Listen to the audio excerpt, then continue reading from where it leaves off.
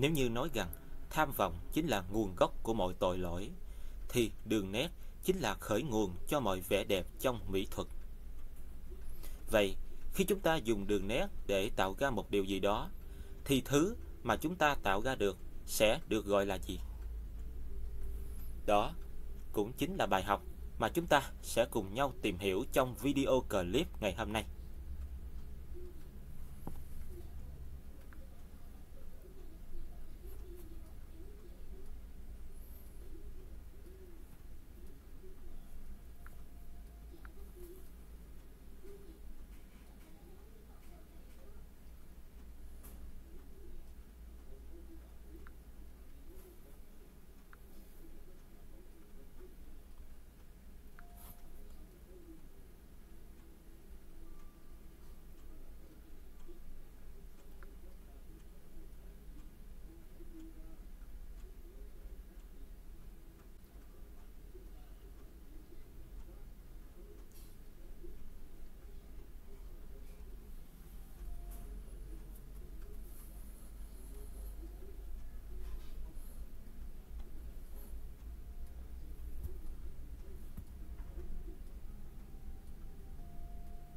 Ở video clip lần trước, tôi đã chia sẻ đến toàn thể quý vị và các bạn nội dung về đường nét. Còn trong video clip số 2 này, khi chúng ta đã biết được thế nào là đường nét và trong đường nét có những gì, những gì, thì bây giờ chúng ta sẽ bước vào bài học ngày hôm nay với nội dung tìm hiểu về hình dạng hay còn được gọi là hình dáng. Bởi vì hai cặp từ này trong từ điển tiếng Việt có thể được coi là đồng nghĩa với nhau, tùy theo cách hiểu của mỗi người thôi. Chúng ta viết và đọc là hình dạng hay hình dáng gì cũng được, bởi vì nó giống như nhau cả thôi. Vấn đề ở đây là chúng ta phải biết được thế nào thôi thôi mệt tự nhiên ờ, không có mỗi lần mà vừa vô video clip một cái là tôi đã chuyển giọng của mình sang chế độ nghiêm túc và chững chạc công nhận nó mệt dễ sợ luôn ai ai nói chuyện với chất giọng như thế này thì nó mới đúng với phong cách của tôi nè còn nói với chất giọng hồi nãy thì công nhận là cũng là giọng của mình đó, nhưng mà nó cũng không đúng như phong cách của tôi lắm. Đó, thôi giờ tôi ờ, đành phải chuyển sang chế độ bình thường thôi. Trời mặt dễ sợ luôn. Lần sau chắc là vừa vô video clip một cái là tôi giữ y nguyên chế độ này luôn, chứ không có chuyển sang chế độ nghiêm túc và chững chạc kia đó đâu. Nói chuyện theo kiểu ờ, chính chắn như vậy thì nó cũng không đúng với con người của tôi lắm, cho nên bây giờ chúng ta sẽ bắt đầu bước vào chuyên môn liền đây. À bước vào chuyên môn liền luôn chứ không có nói phòng vo nữa. Khác với video clip đầu tiên mà tôi đã thực hiện với bài 1 là đường nét. Trong bài 1 thì chúng ta chỉ mới vừa quen biết nhau thôi, cho nên phải tốn thiếu điều cả tiếng đồng hồ để mà làm quen với nhau luôn. Nhưng mà trong video clip thứ hai này thì chúng ta đã làm quen với nhau trong video clip thứ nhất rồi, cho nên à, vừa vào một cái là mình vào thẳng vấn đề luôn, chứ không có còn à, vòng qua tam quốc nữa. Đó, thì bữa nay quý vị và các bạn phải hết sức là tập trung nhé, bởi vì bài học hôm nay là một bài học vô cùng quan trọng luôn. Khi chúng ta đã hiểu được đường nét là gì, thì bây giờ hình dạng hay còn được gọi là hình dáng chính là một bài học rất là có liên quan đến đường nét. Bởi vì, như những gì mà tôi đã nói ở phần cuối của video clip hôm trước, đường nét chính là mẹ của hình dạng đường nét. Do mình tạo ra, mình có thể được coi là chồng của đường nét đó. Thì hình dạng chính là đứa con của đường nét và của mình. Thì bây giờ, để biết được hình dạng là gì, tôi sẽ vẽ minh họa cho quý vị và các bạn hiểu trước cái đã, trước khi chúng ta vào nội dung của bài học định nghĩa như thế nào là hình dạng. Đó. Thì bây giờ tôi vẽ trước một cái nè, để cho mọi người hiểu dễ hơn. Đó. Bữa nay thì tôi hơi đi ngược một chút, đó chính là mình sẽ vẽ minh họa trước, chứ không có nói ờ, khái niệm qua rồi mình mới vẽ minh họa nữa. Đó.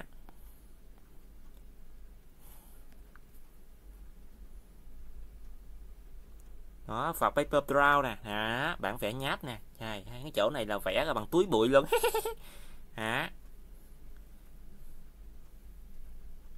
thì bây giờ, tôi sẽ cho mọi người hiểu thế nào được gọi là hình dạng đây.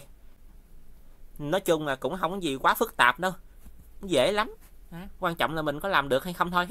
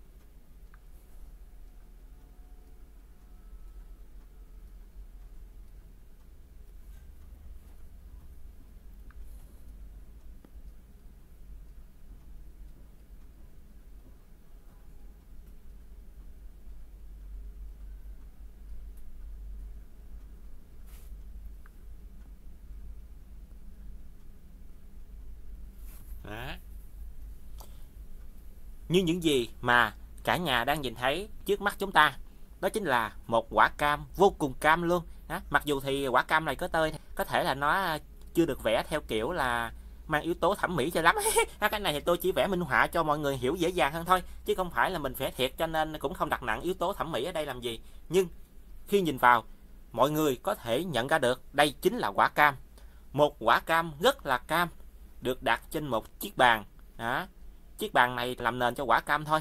Cho nên, ở phần ờ, vẽ minh họa này, tôi cũng không có tô màu cho chiếc bàn này làm chi hết. Coi như chiếc bàn này là có viền hồng và phần màu là màu trắng đi. Chủ yếu là chúng ta phải tập trung vào quả cam, bởi vì quả cam này rất là có liên quan đến bài học mà chúng ta sẽ cùng nhau tìm hiểu ngày hôm nay. Bởi vì khi cả nhà vừa nhìn vào một cái là có thể nhận diện ra, đây chính là quả cam.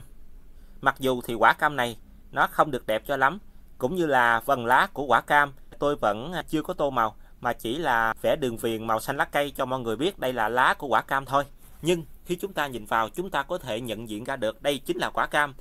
Chính vì điều đó mà quả cam này đã được tạo nên bởi đường nét. Và khi đường nét chúng ta sử dụng để vẽ nên một điều gì đó mà khiến cho người khác khi nhìn vào có thể nhận ra đây là bất cứ điều gì, bất cứ thứ gì hay bất cứ một đồ vật gì, vật dụng gì hay một ai đó, một con vật nào đó trong cuộc sống, tất cả những điều đó đều được gọi là hình dạng. Chỉ đơn giản như vậy thôi. Khi chúng ta vẽ ra một bức tranh mà tất cả những gì xuất hiện trong bức tranh đó có thể khiến cho người nhìn nhận biết được những thứ đang tồn tại trong cuộc sống từ con người, loài vật cho đến cỏ cây, hoa lá, thiên nhiên các kiểu, rồi cho đến những vật dụng, đồ dùng hàng ngày và nói chung là linh tinh các kiểu hết. Chỉ cần nhìn vào là mình biết đó là gì thì chúng ta đã vẽ ra hình dạng của những thứ đó rồi đó. Chúng ta đã hoàn tất việc cho người khác biết rằng những thứ đó có hình dạng như thế nào. Thì bây giờ quay trở lại với phần nội dung trong PowerPoint. Tôi sẽ cho mọi người hiểu rõ hơn về khái niệm hình dạng là gì. Rồi sau đó tôi sẽ nói tiếp để mọi người có thể dễ hình dung hơn những gì mà tôi vừa nói. Đó. Nói hồi cũng gói, cũng gói thấy bà luôn. Thì bây giờ nè, mọi người hãy nhìn vào đây. Hình dạng, khái niệm. Hình dạng được tạo thành khi các đường nét gặp nhau. Đó, đó. Hãy tập trung vào đây đây. Hình dạng được tạo thành khi các đường nét gặp nhau. Giống như những gì mà tôi đã nói khi chúng ta bắt đầu vẽ tranh là lúc chúng ta đã tạo ra đường nét. Đây là khái niệm mà tôi đã định nghĩa ở video clip hôm trước. Vậy thì chúng ta phải dùng đường nét đó như thế nào để có thể tạo ra hình dạng? Tôi cũng đã nói ở trong phần vẽ minh họa của mình. Đó là khi chúng ta dùng đường nét để vẽ mà đường nét đó có thể giúp cho người nhìn nhận ra được thứ mà chúng ta đang vẽ trong bức tranh đó là gì thì thứ đó đã có hình dạng rồi đó chỉ đơn giản như vậy thôi. Có nghĩa là mình phải vẽ làm sao để cho người khác nhìn vào, nhận diện ra được thứ mà mình đang vẽ. Thì chỉ cần khi người khác nhận diện ra được. Thứ đó là gì, chúng ta đã thành công ở việc tạo ra hình dạng. Chứ nếu như chúng ta vẽ mà người khác nhìn vào chả hiểu cái gì hết, đặt trường hợp đó không phải là tranh trừu tượng, mà là do chúng ta vẽ vẫn chưa đâu ra đâu, vẫn còn quá nhiều thiếu sót, hoặc là vẽ quá xấu tới mức độ mà người khác không nhìn ra được đó là hình dạng gì thì đó là vấn đề mà chúng ta cần phải khắc phục.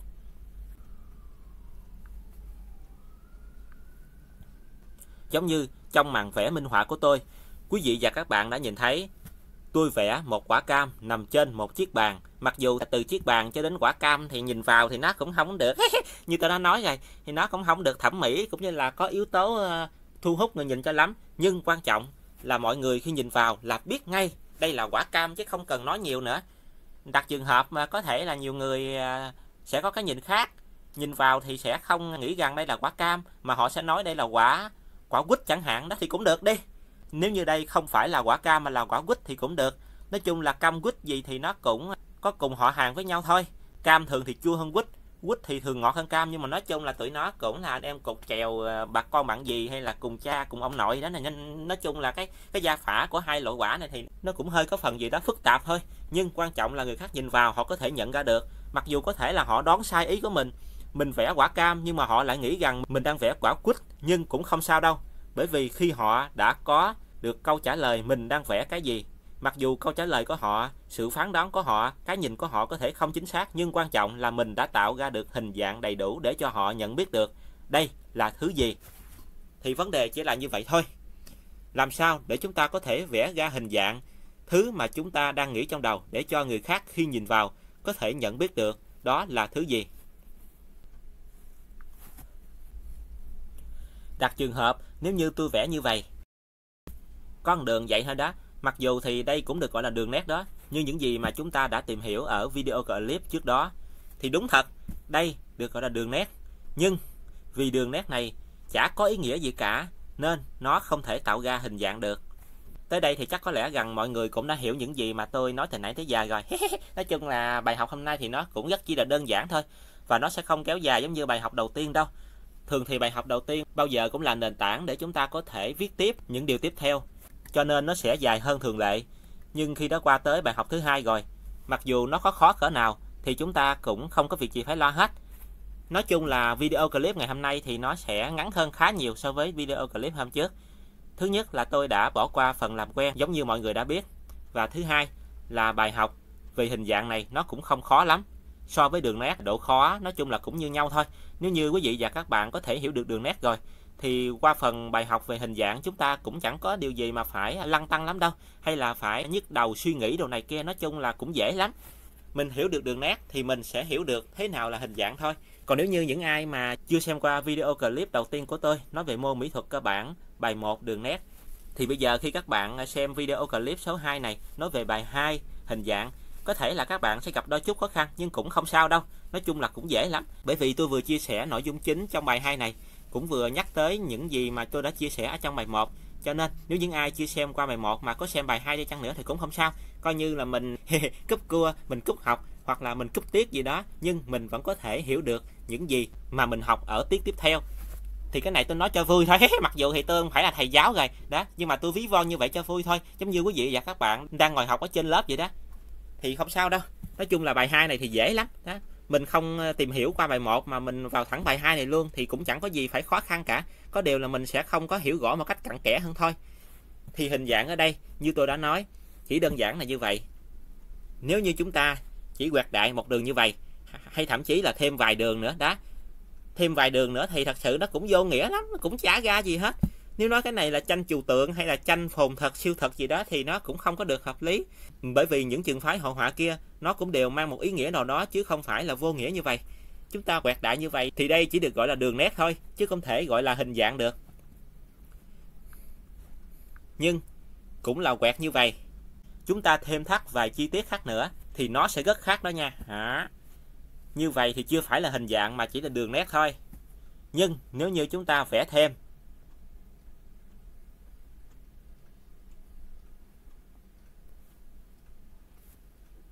Đó. Quý vị và các bạn đã nhìn thấy chưa? Chỉ cần vẽ thêm như vậy thôi thì bức tranh của chúng ta đã rất khác rồi. Mặc dù thì ý nghĩa của nó cũng không phải là mang tính sâu rộng hay sâu sắc gì hết, nhưng ít nhất khi nhìn vào, cả nhà đều có thể nhận biết được đây là gì. Có thể có người sẽ nghĩ rằng đây là một mũi tên, có người sẽ nghĩ rằng đây là một thứ gì đó khác khác. Nói chung là mình muốn hiểu sao cũng được, nhưng khi đã có hình dạng một cách cụ thể như vậy để cho người khác có thể muốn hiểu sao hiểu. Chúng ta đã tạo ra hình dạng rồi. Mình dùng đường nét để tạo ra hình dạng cho người khác nhìn vào, biết được mình đang vẽ cái gì. Còn nếu như người khác nhìn vào mà không biết gì hết, thì coi như hình dạng của mình nó vẫn chưa hoàn chỉnh. Đặt trường hợp mọi người cũng có thể đổ lỗi cho người thưởng thức. Chẳng hạn như họ chưa có được sự thấu cảm để mà có thể hiểu được những gì mà mình đang vẽ. Nhưng ở đây chúng ta cũng phải hiểu rằng, dù cho mình vẽ như thế nào, thì ít ra khi người khác nhìn vào, họ cũng phải hiểu được một phần nào đó theo trí tưởng tượng của họ. Chứ nếu như mà họ không hiểu gì hết, thì dù cho đó là một bức tranh hoàn chỉnh, mình cũng phải nên xem xét lại.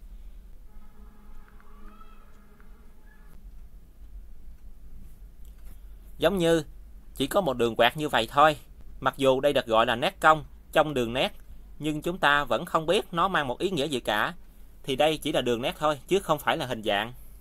Nhưng chỉ cần mình vẽ thêm như thế này đó. thì khác liền nhé quý vị mặc dù thì có thể là vừa nhìn vào mọi người cũng chẳng biết đây là cái gì cả nhưng nó đã được bao bọc bởi đường nét có kết thúc. Và vì vậy, nếu như những ai mà có sự am hiểu rộng rãi cũng như là một trí tưởng tượng hoặc có thể dùng sự liên tưởng hoặc là liên kết gì đó để mình nhận diện ra được đây là gì thì cũng không khó lắm đâu. Mặc dù thì à, tôi vẽ chưa được chuẩn lắm bởi vì ở đây là tôi chỉ vẽ cho vui thôi chứ không phải là vẽ thiệt. Cho nên có thể là nó sẽ không được như mọi người mong muốn. Đó cái này thì tôi cũng nói nãy giờ rồi. Nhưng khi chúng ta nhìn vào, có lẽ rằng nhiều người sẽ nhận ra được thứ mà tôi đang vẽ đây. Đó. Mọi người có biết đây là hình vẽ gì không? Thì tôi cũng xin nói luôn, nói ra cũng hài hước thì đây chính là logo biểu trưng của thương hiệu thời trang thể thao nổi tiếng thế giới Nike. Trời ơi, mặt cười đó. Thì ở đây thì các bạn nào mà có đam mê về thể thao, mặc đồ thể thao nhiều, đặc biệt là mặc đồ chính hãng luôn đó thì có thể rằng các bạn sẽ biết đây. Đó. Thì đây chính là logo biểu trưng của thương hiệu thời trang thể thao nổi tiếng thế giới Nike. Nike đó, mình đọc theo kiểu nó cũng hơi bình dân và nhà quê một chút, đó chính là Nike đó. đó thì chỉ như vậy thôi. Nhưng mà ở đây tôi chỉ vẽ minh họa cho vui thôi chứ đường nét của logo của hãng Nike thì nó không phải như vậy đâu mặc dù là nó cũng quẹt như vậy đó nhưng mà nó sẽ có một đường nét gì đó nó nó đẹp hơn chứ còn như tôi vẽ thì theo kiểu cho vui thì nó cũng không được chuẩn xác cho lắm. Đó, thôi kệ để coi như mình cho qua vấn đề này đi. Nó cũng không bàn cãi làm gì hả thì coi như chúng ta đã biết được thế nào được gọi là hình dạng rồi. Hình dạng có thể coi là đứa con trai đầu lòng của đường nét và tác giả tạo ra. Tác giả của bức tranh kết hợp với đường nét sẽ tạo ra hình dạng. Hình dạng được coi là người con trai cả của tác giả bức tranh và đường nét. Thì chỉ như vậy thôi. Ở trong khái niệm hình dạng thì chúng ta còn hai dòng khái niệm nhỏ khác. Đó chính là hình dạng thì phẳng, có hai chiều là bề rộng và độ cao. Một số hình dạng hình học quen thuộc như hình tròn, hình vuông, hình tam giác, hình chữ nhật hình oval và các hình dạng organic, thường được gọi là hình hữu cơ, hình phức tạp, hình mảng, hình khói, có tính nhô nổi, mật độ cao, có cảm giác đầy chặt, có hình dạng rõ ràng, có đường bao hoặc ranh giới. Cho nên bây giờ tôi cũng sẽ giải thích rõ hơn cho mọi người hiểu được hai dòng khái niệm tiếp theo đây. Mặc dù cô giáo của tôi đã ghi ra một cách rất là rõ ràng rồi. Nếu như bạn nào mà hồi xưa đi học học giỏi môn toán hình học thì khi đọc qua dòng khái niệm thứ hai này có lẽ bạn đó sẽ rất chi là hứng thú và bị kích thích đây đó thấy không trời ơi cái gì đâu mà có hình tròn hình vuông, hình tam giác, hình chữ nhật, hình oval rồi này kia rồi, các kiểu luôn, quá trời hình luôn. Đó còn nếu những bạn nào mà hồi xưa đi học có học yếu môn toán, hình học thì cũng không sao đâu. Bởi vì ở đây chúng ta đang tìm hiểu về mỹ thuật, chứ không phải là toán học. Đó mình phải phân biệt được đâu là mỹ thuật, đâu là toán học.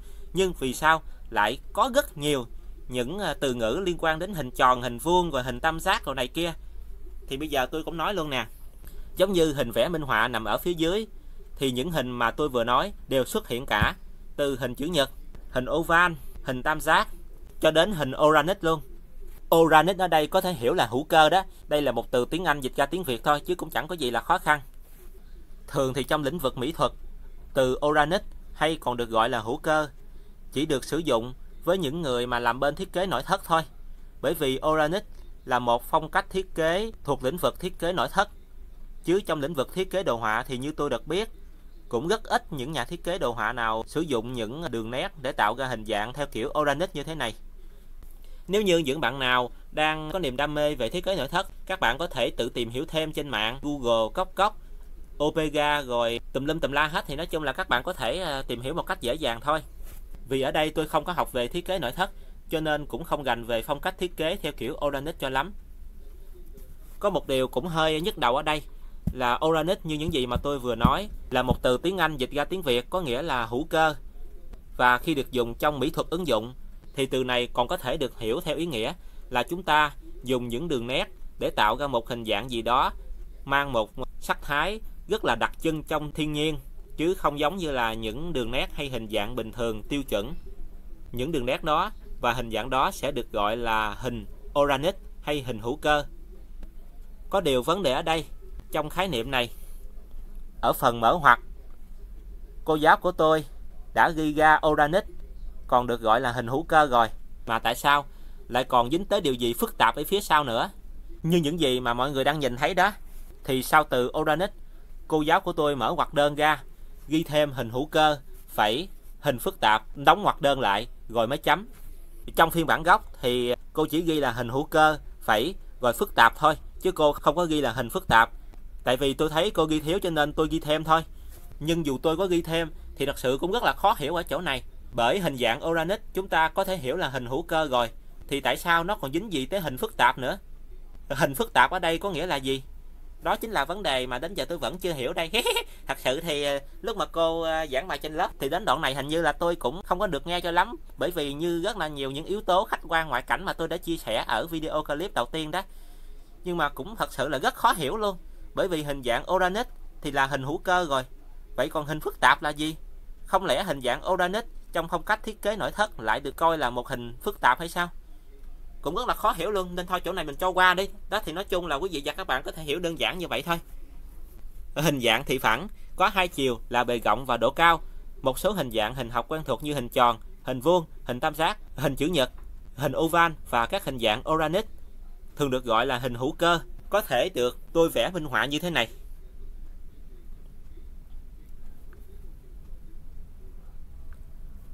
Qua phần vẽ minh họa này thì chắc mọi người sẽ hiểu dễ hơn đây.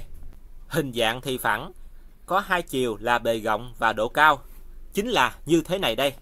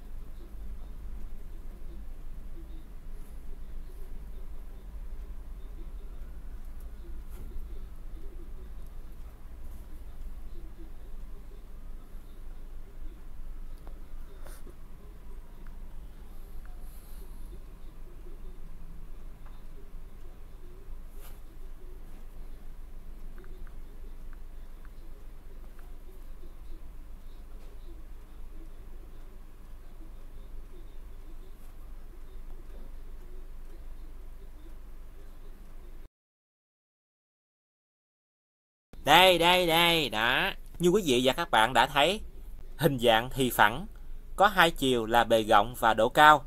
Thì chỉ như vậy thôi. Đó, đơn giản lắm. Nói chung là khái niệm này thì nó cũng có một phần gì đó cũng hơi trừu tượng, nhưng nó cũng dễ hiểu lắm thôi. Giống như chúng ta khi vẽ ra một thứ gì đó thì tất nhiên rồi, thứ đó luôn luôn phải là mặt phẳng.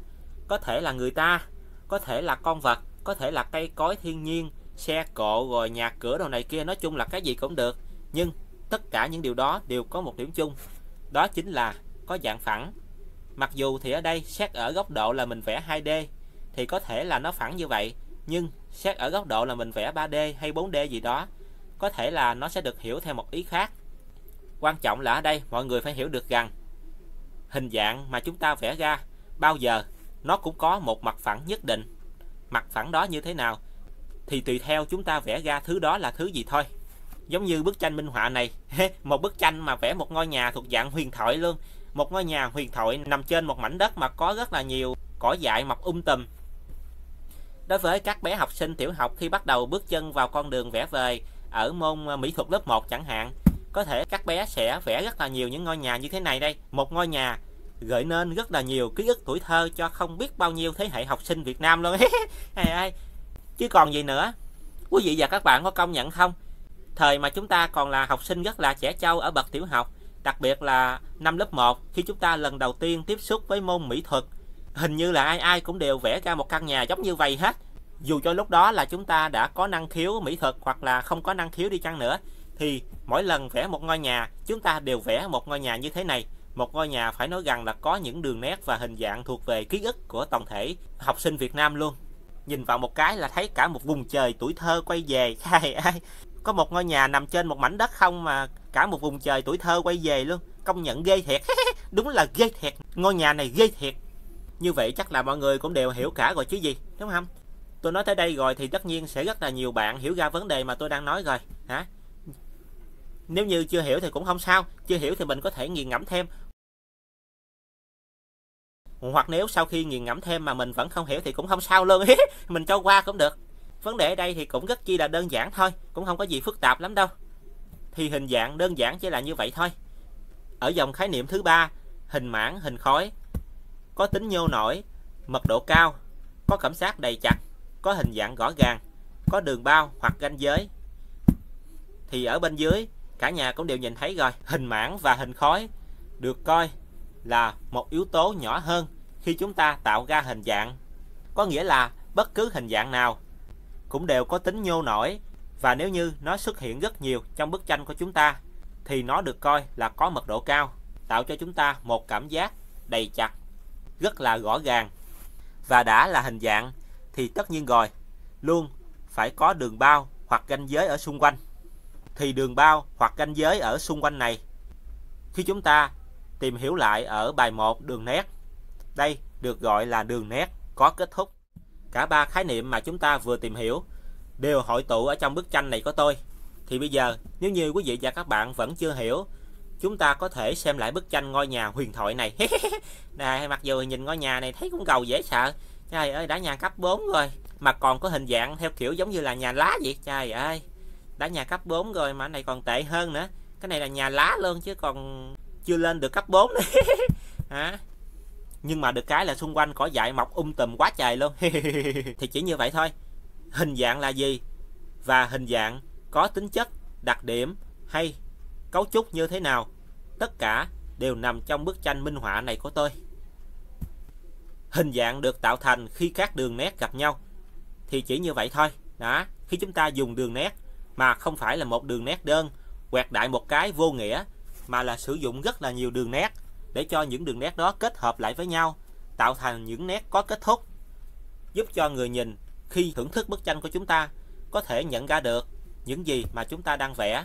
Thì đó là lúc chúng ta đã biết được rằng mình đã tạo ra hình dạng thành công. Rất là đơn giản luôn.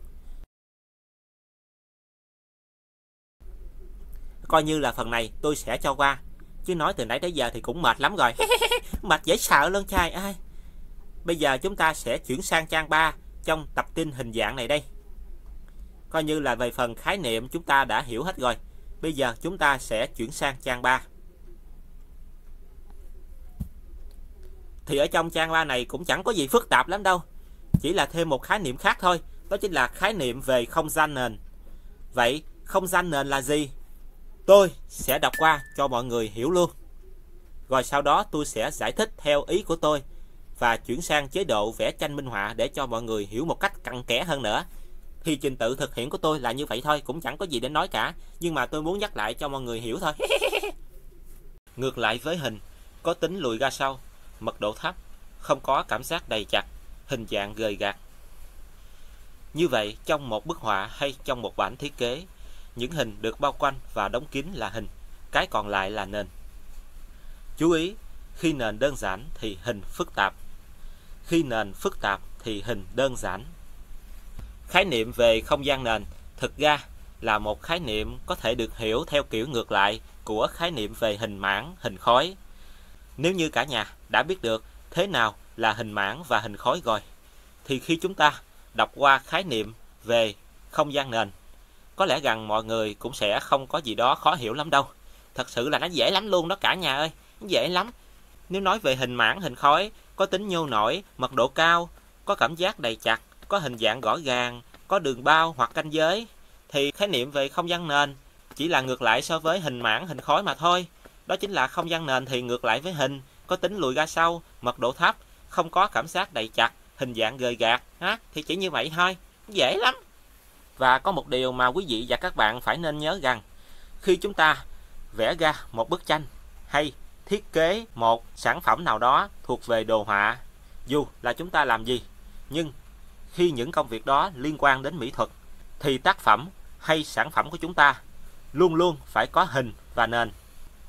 Hình và nền được coi là hai yếu tố vô cùng quan trọng khi chúng ta nhắc đến hình dạng. Nếu nói một cách cụ thể hơn thì hình và nền được xem như là hai yếu tố nhỏ hơn khi chúng ta nhắc tới yếu tố lớn hơn là hình dạng. Dù cho bạn có là một họa sĩ thiên tài đi chăng nữa, thì khi bạn vẽ ra một bức tranh, không thể nào mà bức tranh của bạn chỉ có hình hoặc nền, mà luôn luôn phải có hai yếu tố này đi cùng với nhau.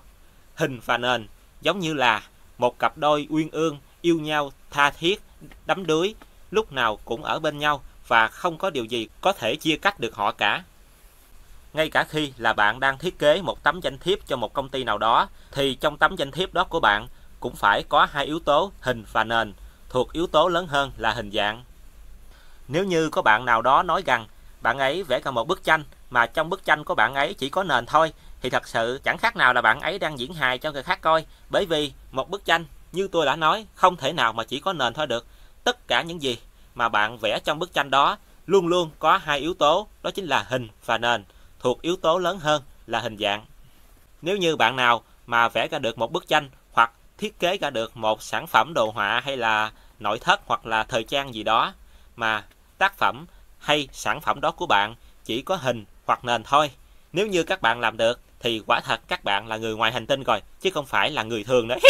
Bởi vì người thường thì dù cho có là thiên tài theo kiểu như là Vincent van Gogh thì cũng không thể nào vẽ ra được một bức tranh mà chỉ có nền hoặc hình thôi.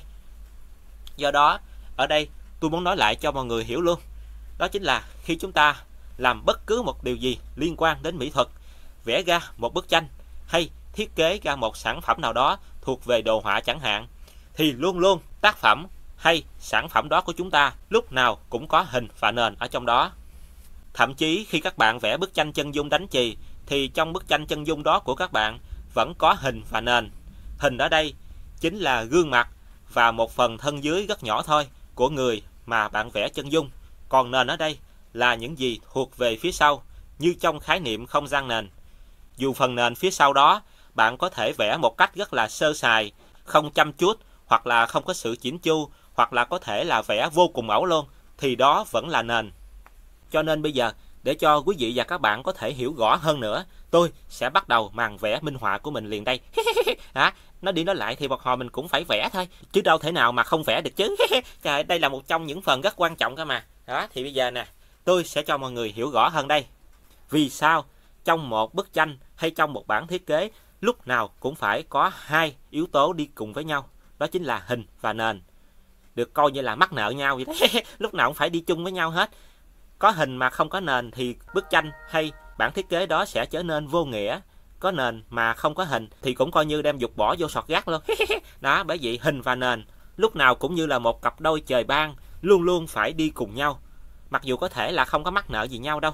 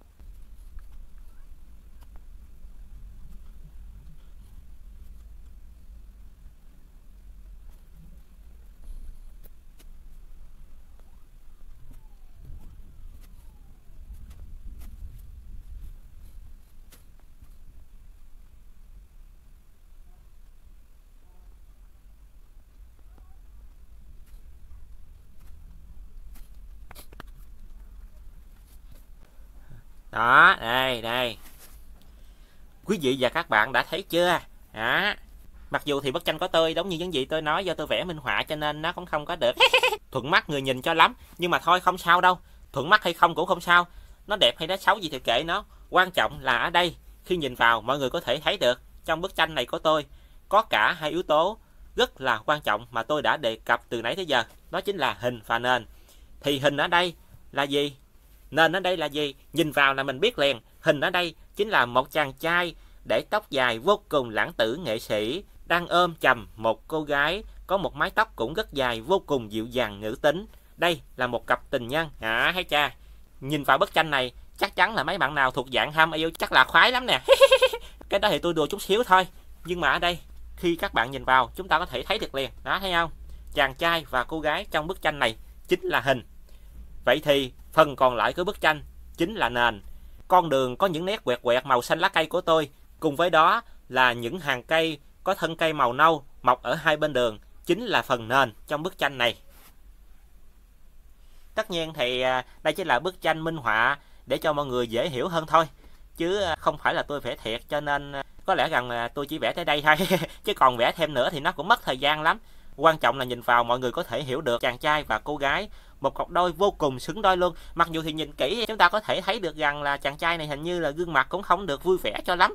Giống như là yêu theo kiểu miễn cưỡng hoặc là bị gia đình ép cưới hay gì đó cũng không biết nữa. Nhưng mà hình như là gương mặt cũng không có được có mùa xuân cho lắm.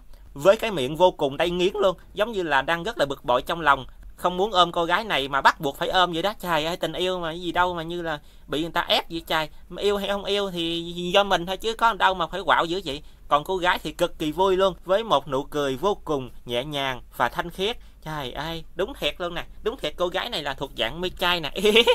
Không không, cái này là tôi chỉ nói cho vui về bức tranh của tôi thôi. Hả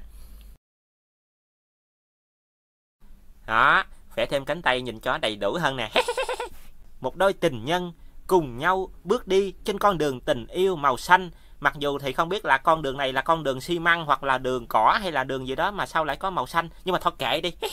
Ha tôi vẽ ra mà tôi còn biết là gì luôn. Nhưng mà cũng không có sao đâu. Quan trọng là nhìn vào là mình hiểu được thôi. Đó.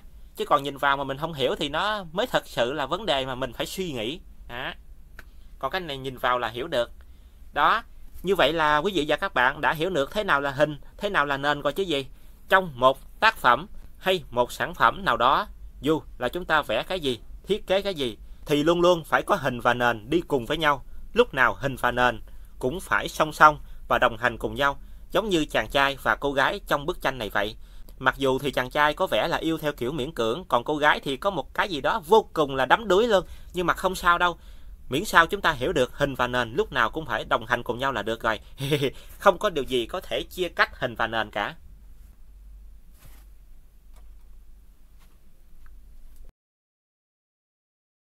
Do đó, khi đọc qua dòng khái niệm thứ hai trong khái niệm không gian nền, chắc có lẽ là mọi người cũng đã hiểu được rồi. Như vậy trong một bức họa hay trong một bản thiết kế, những hình được bao quanh và đóng kín là hình, cái còn lại là nền. Đó. Quý vị và các bạn phải đọc thật kỹ ở đoạn này nè. Những hình được bao quanh và đóng kín là hình, cái còn lại là nền. Nhưng không phải nói như vậy là lúc nào nền thì cũng không được bao quanh và đóng kín đâu, mà chúng ta phải hiểu được là ở đây trong một bức họa hay trong một bản thiết kế Thông thường, những thứ được gọi là hình luôn sẽ có một đường bao bọc xung quanh và tạo cho người xem một cảm giác gì đó rất là chặt chẽ, kín đáo và ấm áp. Do đó, phần còn lại không phải là hình, lúc nào cũng sẽ cho chúng ta thấy được một cảm xúc thả lỏng, trải rộng, không được bao bọc, cô đơn hay chìm hơn. Thì chỉ như vậy thôi, nói chung là nói tới đây thì tôi nghĩ là mọi người đều hiểu hết rồi. Chứ nếu mà tôi nói hoài thì chắc có lẽ là mọi người sẽ trở lại với suy nghĩ ban đầu đó là mình không hiểu gì hết. Cho nên bây giờ nè, tôi sẽ không nói hình và nền là gì là gì nữa đâu. Mà bây giờ chúng ta phải tập trung vào phần chú ý ở hàng cuối cùng đây. Đó. Ba dấu chấm đầu dòng thì dấu chấm đầu dòng cuối cùng, chú ý, cực kỳ quan trọng luôn. Khi chúng ta đã hiểu được khái niệm không gian nền và đã hiểu được thế nào là hình và nền, hình khối, hình mảng và không gian nền là gì rồi, nói chung là hiểu được hình và nền, vì sao hai nhân vật này lại có mối liên kết vô cùng thân mật như vậy. Thì bây giờ chúng ta phải đọc qua chú ý này và nhấn mạnh ở chỗ này đây. Khi nền đơn giản thì hình phức tạp. Khi nền phức tạp thì hình đơn giản. Cái này cũng không có gì quá khó hiểu đâu cả nhà. Giống như người ta thường nói, đằng sau thành công của một người đàn ông luôn có bóng dáng của một người phụ nữ. Mặc dù thì thực tế cho thấy đằng sau thành công của một người đàn ông luôn có hình bóng của người phụ nữ ở không? À không không cái này là tôi chỉ nói cho vui theo cái ý của tôi thôi chứ mọi người đừng có tưởng thiệt nha. Mặc dù thực tế là như vậy nhưng thường thì chúng ta sẽ không nói như vậy đâu. Bởi vì nói như vậy thì có thể là mình sẽ phải nhận rất là nhiều những những thứ mà mình à, không muốn nhận từ phía đối diện. À, thôi nói chung là mình cho qua vấn đề này đi. Nhưng mà ở đây là tôi muốn cho mọi người hiểu một cách cụ thể hơn và chân thật hơn về hình và nền. Nếu như ví hình và nền giống như một đôi tình nhân hay một cặp vợ chồng thì khi hình và nền cùng nhau bước đi trên một con đường nào đó, nếu như cả hai lúc nào cũng hiện diện theo kiểu là tỏ sáng rực rỡ cùng nhau, không ai chịu nhường bước ai hết, không ai chịu làm hậu phương phía sau để nâng đỡ người phía trước có thể bước lên một tầm cao mới thì có nhiều khi nó lại không hay. Giống như cuộc sống ngoài đời của một đôi tình nhân hay của một cặp vợ chồng nào đó vậy. Nếu có thể ví von theo kiểu vui vui thì ở đây trong hình và nền hình mình có thể cho là một cô gái đi. Tất nhiên rồi, với nhiều người khác. Khi nói về hình, chúng ta dùng một cô gái hay là một người phụ nữ nào đó để đưa vào, có lẽ rằng nó sẽ không thích hợp bằng một chàng trai hay là một người đàn ông. Nhưng ở đây, vì tôi là một người vô cùng ưu ái cho phụ nữ, ưu ái cho cái đẹp. Cho nên, tôi quyết định hình sẽ là một cô gái hay là một người phụ nữ nào đó. Còn nền ở đây sẽ là một chàng trai hay một người đàn ông. Do đó, khi nền hoặc hình là những người có yếu tố quyết định mang lại thành công, hạnh phúc cho gia đình, cho tình cảm của cả hai. Thì người còn lại chắc chắn là phải lùi ra sau. Giống như trong một bức họa hay trong một bản thiết kế, nếu như phần nền chúng ta vẽ quá đẹp và có quá nhiều chi tiết đập vào mắt người nhìn, thì phần hình chúng ta phải vẽ đơn giản lại. Mặc dù hình có thể là chi tiết chính mà chúng ta cần phải nêu rõ, nhưng khi nền đã quá phức tạp, quá đẹp, quá đập vào mắt người nhìn rồi. Và khi nhìn vào bức họa hay bản thiết kế đó, chúng ta thấy nền đầu tiên thì tốt nhất mình phải đưa phần hình khoác lên mình một lớp áo đơn giản hơn, bình dị hơn và thầm lặng hơn. Chứ không thể nào cả nền và hình đều phức tạp như nhau được. Bởi vì nếu nền và hình đều phức tạp như nhau thì có thể hiệu ứng chúng ta tạo ra cho người thưởng thức sẽ không được như mong muốn và ngay cả với chính mình là tác giả của tác phẩm hay sản phẩm đó, mình cũng sẽ có một điều gì đó lấn cấn mỗi khi nhìn vào. Thì đơn giản chỉ là như vậy thôi. Nó khá giống với hoàn cảnh của gia đình một cặp vợ chồng trẻ mới cưới chẳng hạn. Khi người vợ đã ra ngoài xã hội làm ăn, đem tiền về cho gia đình và được coi là trụ cột chính trong gia đình, quyết định hết tất cả những gì liên quan đến chi tiêu, lối sống, cách dạy con, ngoại giao bên ngoài xã hội, cung cấp vật chất đầy đủ cho gia đình. Thì tất nhiên, lúc đó phần việc của người đàn ông sẽ nhẹ nhàng hơn rất nhiều. Do vợ mình đã lo hết tất cả mọi thứ rồi, nên mình không cần phải làm gì cả. Chủ yếu là làm công việc nội trợ, chăm sóc con cái, tắm rửa cho con, giặt đồ, rửa chén, quét nhà, lau nhà, rồi chùi bồn cầu, rồi chùi toilet, rồi ờ, nói chung là đó. Thì ờ, khi một người đã quá nổi bật rồi thì mình phải chấp nhận chịu thiệt, phải thầm lặng hơn, chìm hơn, cũng như là ít được nhắc tới hơn. Ở đây là tôi chỉ nói đến một ví dụ so sánh hình và nền với một cặp vợ chồng trẻ mới cưới cho mọi người hiểu dễ hơn thôi. Chứ thực tế thì không phải lúc nào cũng vậy. Bởi vì theo đa số cuộc sống gia đình từ ngàn xưa cho tới bây giờ thì người đàn ông lúc nào cũng phải là trụ cột và người phụ nữ thì đảm nhiệm việc nội trợ. Do đó, người đàn ông phải là hình, còn người phụ nữ phải là nền. Nhưng ở đây, vì tôi muốn có một cái nhìn khác hơn, muốn nâng cao nữ quyền cũng như là muốn dành sự ưu ái cho các chị em hơn, cho nên tôi mới ví dụ như vậy thôi. Nếu tới đây mà mọi người vẫn chưa hiểu nữa, thì bây giờ tôi sẽ vẽ minh họa liền đây. Bây giờ mình sẽ xóa bức tranh này đi nè. Mặc dù thì tranh nhìn cũng đẹp đó, nhưng mà thôi, cũng phải xóa rồi, chứ không thể nào mà giữ hoài được. Phải xóa để còn chừa trang vẽ cái khác nữa chứ. Chứ không lẽ để hai con người này ôm nhau hoài sao? Ôm cái gì đâu mà một người thì quạo còn hơn là ừ, ừ, tính nói à, tính dùng một con vật để mà so sánh với sự quạo của chàng trai trong bức tranh này nhưng mà thôi, nói vậy thì cũng không hay cho lắm. Đã thôi, bây giờ nè. Trở lại với màn vẽ minh họa tiếp theo của tôi đây. Bây giờ tôi sẽ cho mọi người hiểu được thế nào là nền và hình.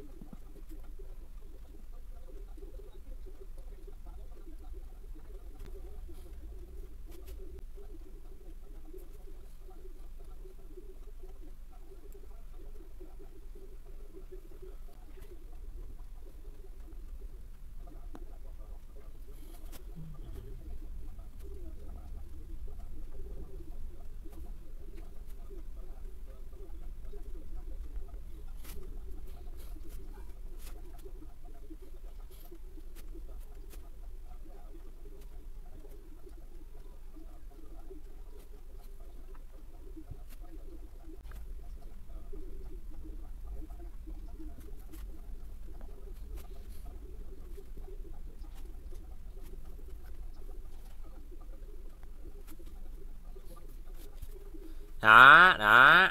Như những gì mà mọi người đang nhìn thấy đó. Trong bức tranh này, tôi vẽ hình ảnh của một cô gái đang chơi đùa cùng bầy chim. Cô gái này thì được tôi vẽ bằng một màu cam vô cùng nóng bỏng. Đến tóc mà cũng màu cam luôn. Đó thì cái này mình vẽ minh họa cho vui mà. Cho nên như tôi đã nói thì cũng không cần phải chính xác cho với thực tế cho lắm. Và cũng không cần phải tỉ mỉ ở từng đường nét cho lắm. Miễn sao nhìn vào mình hiểu được đây là cô gái thôi. Cô gái này đang chơi đùa cùng với đàn chim. Và đàn chim cùng với cô gái chính là hình trong bức tranh này. Cô gái cùng với bốn chú chim là những nhân vật chính trong bức tranh này. Còn những đường nét màu đen thui thùi lùi, tả cảnh những người xung quanh đang chơi đùa, đang đi bộ hay là làm cái gì đó cũng chả biết nữa. Nhưng mà tại trong đây, với kích cỡ của trang giấy trắng cũng không được quá lớn như thế này, thì tôi cũng không thể vẽ nhiều hơn. Quan trọng là ở đây khi mọi người nhìn vào, chúng ta có thể thấy được đường nét đen thui thùi lùi, vẽ những con người ở xung quanh cô gái và đàn chim này chính là nền trong bức tranh. Và chính vì ở góc vẽ như thế này, tôi tả cận gương mặt của cô gái cũng như đôi tay của cô gái đang ôm, đang nâng niu một chú chim nào đó, bên cạnh là ba chú chim khác. Do vậy phần khung nền ở phía sau, tôi đã vẽ một cách vô cùng đơn giản và có phần gì đó cũng hơi nực cười một chút. Quan trọng là ở đây tôi muốn cho mọi người hiểu được thế nào khi hình phức tạp thì nền đơn giản thì đây chính là ví dụ cho phần chú ý đó. Hình ở đây là cô gái và bốn chú chim. Mặc dù thì cũng không phải là quá phức tạp, nhưng vì tôi vẽ ở góc độ đó là tả cận, do đó điểm nhấn về cô gái cũng như là bốn chú chim này chiếm đa số hầu hết cái nhìn của người xem khi vừa mới nhìn vào bức tranh. Do vậy mà phần nền phía sau tôi vẽ một cách vô cùng mờ ảo, giống như là khi các bạn đang xem một cảnh quay trong một bộ phim với những phân đoạn mà đặc tả, tả cận gương mặt của nhân vật hay một vật thể nào đó ở một khoảng cách rất gần, giống như là mình đang đứng đối diện với vật thể đó, với người đó, mình nhìn thẳng ra đằng trước mà mình thấy rất là gần. Do vậy, trong góc nhìn đó, những gì thuộc về phần nền, chúng ta phải làm cho nó nhẹ nhàng hơn, gời gạt hơn, mỏng manh hơn và có phần gì đó cô đơn, chìm hơn một chút so với phần hình. Bởi vì nếu như chúng ta làm cho phần nền quá là nổi bật, quá rõ ràng và gõ tới mức mà một con kiến chúng ta cũng nhìn thấy luôn. Thì như vậy phần hình sẽ bị lấn át, mà bị lấn át từ phía sau lại càng trở nên nguy hiểm hơn, khiến cho bức tranh của chúng ta khi nhìn vào, chủ thể chính sẽ không được nêu lên rõ ràng. Đáng nói hơn ở đây, chủ thể chính này được vẽ ở góc độ đó là tả cận. Còn ngược lại thì sao? Bây giờ tôi cũng vẽ luôn đây. Bức tranh minh họa này là ví dụ cho câu khi hình phức tạp thì nền đơn giản, còn bây giờ ngược lại. Khi nền phức tạp thì hình đơn giản. Sẽ như thế này đây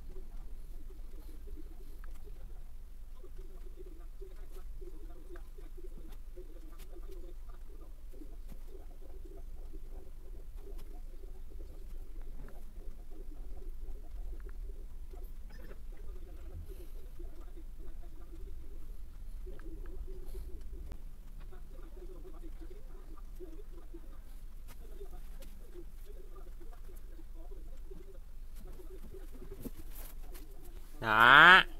Đây, đây, mọi người đã thấy chưa? Khác biệt với bức tranh hồi nãy. Khi tôi vẽ chủ thể chính trong bức tranh ở góc độ tả cận. Còn trong bức tranh này thì chủ thể chính của tôi đó chính là một chàng trai rất chi là đơn độc đang đứng ngắm biển đây. Lại được tôi vẽ ở góc nhìn đó là nhìn từ đằng xa theo kiểu toàn cảnh. Quý vị và các bạn cũng đừng buồn cười nhé, bởi vì như tôi đã nói cái này là tôi chỉ vẽ minh họa, ví dụ cho mọi người hiểu một cách rõ ràng hơn những gì mà tôi đã nói bằng miệng thôi. Khi được ai đó vẽ một cách cụ thể ra để chúng ta nhìn vào, thì chúng ta sẽ dễ dàng hiểu rõ hơn về phần lý thuyết.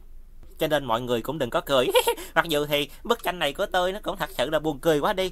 Nó tất nhiên là khi mình vẽ ẩu, vẽ một cách không hề chú tâm, nghiêm túc vào nó thì nó làm sao mà đẹp được. Nhưng quan trọng là chúng ta nhìn vào chúng ta thấy được rằng chàng trai trong bức tranh này chính là hình. Nhưng ở đây, hình ảnh của chàng trai này được khắc họa một cách vô cùng đơn giản, cô đơn, có phần gì đó lẻ loi trầm buồn, âm thầm, lặng lẽ, giống như là chàng trai này đang yêu đơn phương vậy đó, một mình đi ngắm biển. Có thể chàng trai này mới bị bồ bỏ, hoặc là đang yêu thầm một cô gái nào đó, nhưng tới mức tuyệt vọng không thể cứu chữa được rồi. Nên phải đi ngắm biển một mình như vậy để giải tỏa nỗi buồn đây. Và vì sao chàng trai này lại được tôi vẽ một cách vô cùng lẻ loi như vậy? Đó chính là vì phần nền ở đây là bãi cát, được vẽ bằng màu cam, chuyển sắc từ đậm sang nhạt cùng với đó là rất là nhiều con sao biển cũng như là con gì đó giống như là hình nửa phần trăng vậy tôi cũng không rõ đấy. Trời ơi không biết là ngoài biển có những thứ này không mà sao mà thôi kệ đi coi như là tôi nói chung là mặc dù tôi cũng yêu biển đó nhưng mà cũng ít khi đi biển lắm cho nên cũng không biết là trên bờ biển sẽ có xuất hiện những điều gì. Á thì tôi liên tưởng tới sao biển thì tôi vẽ à, mấy con sao biển xuất hiện theo kiểu ngột ngoạt như vậy thôi. Kèm với đó là mấy cái cái cái, cái gì đó tôi cũng không biết luôn. Nhìn thì giống như là một cái lưỡi liềm hay là ờ, hình ảnh của một nửa vầng trăng, đơn coi gì đó tôi cũng không rõ nó, nhưng thôi kệ đi. Mình vẽ ra mà mình còn không hiểu luôn, cũng không có quan trọng quan trọng là ở đây. Tôi muốn nói đến phần nền của bức tranh này, đó chính là bãi cát, những con sao biển và con gì đó tôi cũng không rõ nữa. Cùng với đó là mặt biển vô cùng dậy sóng. Chính vì phần nền đập vào mắt chúng ta, một cái nhìn gì đó vô cùng ấn tượng, chiếm hết mọi tâm trí của chúng ta khi nhìn vào, tới mức độ mà chúng ta quên hẳn đi trong bức tranh này còn có một chàng trai vừa bị thất tình đang ngắm biển. Do đó, đây chính là bức tranh minh họa cho phần chú ý mà tôi đang nói đến. Đó chính là khi nền phức tạp thì hình đơn giản. Thì nhìn vào là mọi người cũng có thể hiểu được rồi. Thì chỉ như vậy thôi. Mặc dù thì có thể do chàng trai này mặc một chiếc áo có màu hồng đậm vô cùng bắt mắt, nhưng khi nhìn vào bức tranh này, chúng ta vẫn có thể thấy được rằng chàng trai quá nhỏ bé so với những điều diễn ra xung quanh chàng. Tất nhiên rồi chàng là người ta mà, thì khi đứng trước mặt biển bao la làm sao mà có thể lớn hơn mặt biển được chứ? Trai ơi biển cả mà. Dậy sóng mênh mông như vậy con người làm sao có thể chiếm hết được? Và cũng chính vì chàng trai quá nhỏ bé so với biển cả bao la cũng như là một bãi cát trải dài với rất nhiều sinh vật biển có hình thù kỳ quái do tôi vẽ nên. Do đó trong bức tranh này chàng trai mặc áo hồng vô cùng nam tính ấy Mặc dù được đóng vai trò là nhân vật chính, là hình, nhưng hình ảnh của chàng trai này không thể rộng lớn gây nhiều sự chú ý bằng hình ảnh của biển cả cũng như là những hình thù kỳ quái, những sinh vật biển không biết gọi tên là gì luôn đang xuất hiện xung quanh chàng trên một bãi cát có một màu sắc cũng rất là nổi bật. Nói tới đây rồi thì chắc mọi người đều hiểu hết rồi đúng không? Trời ơi, cỡ cỡ này luôn mà còn không hiểu nó thì tôi cũng cũng bó toàn thân luôn. Mặc dù thì thật sự là cũng cũng không có bó tới mức đó đâu. Nhưng mà nói chung là dễ lắm cả nhà đó. Nói tới đây rồi thì tôi nghĩ rằng là ai ai cũng hiểu rồi. Dù cho các bạn đang xem video clip của tôi vừa ôm ghệ đi chăng nữa thì các bạn cũng hiểu được. Nó tới mức đó luôn mà còn phải hiểu nữa mà. Chứng tỏ là chẳng có gì khó khăn hết, đúng không? Nhìn vào một cái là mình biết liền. Trong bức tranh này, chàng trai mặc áo hồng đậm vô cùng nam tính ấy chính là hình. Nhưng hình ảnh của chàng trai này lại không nổi bật bằng hình ảnh của sóng biển và những gì xuất hiện trên bãi cát. Thì coi như, vấn đề này chúng ta đã giải quyết xong, hả? Thì nói chung là cũng chẳng có gì quá khó khăn đâu. Tôi nói từ nãy tới giờ rồi thì chắc những ai mà không tập trung tới mức độ đỉnh cao thì chắc cũng hiểu được. Đó thì chỉ đơn giản như vậy thôi. Coi như là chúng ta sẽ cho qua phần này. Màn vẽ minh họa của tôi tới đây là kết thúc, hả?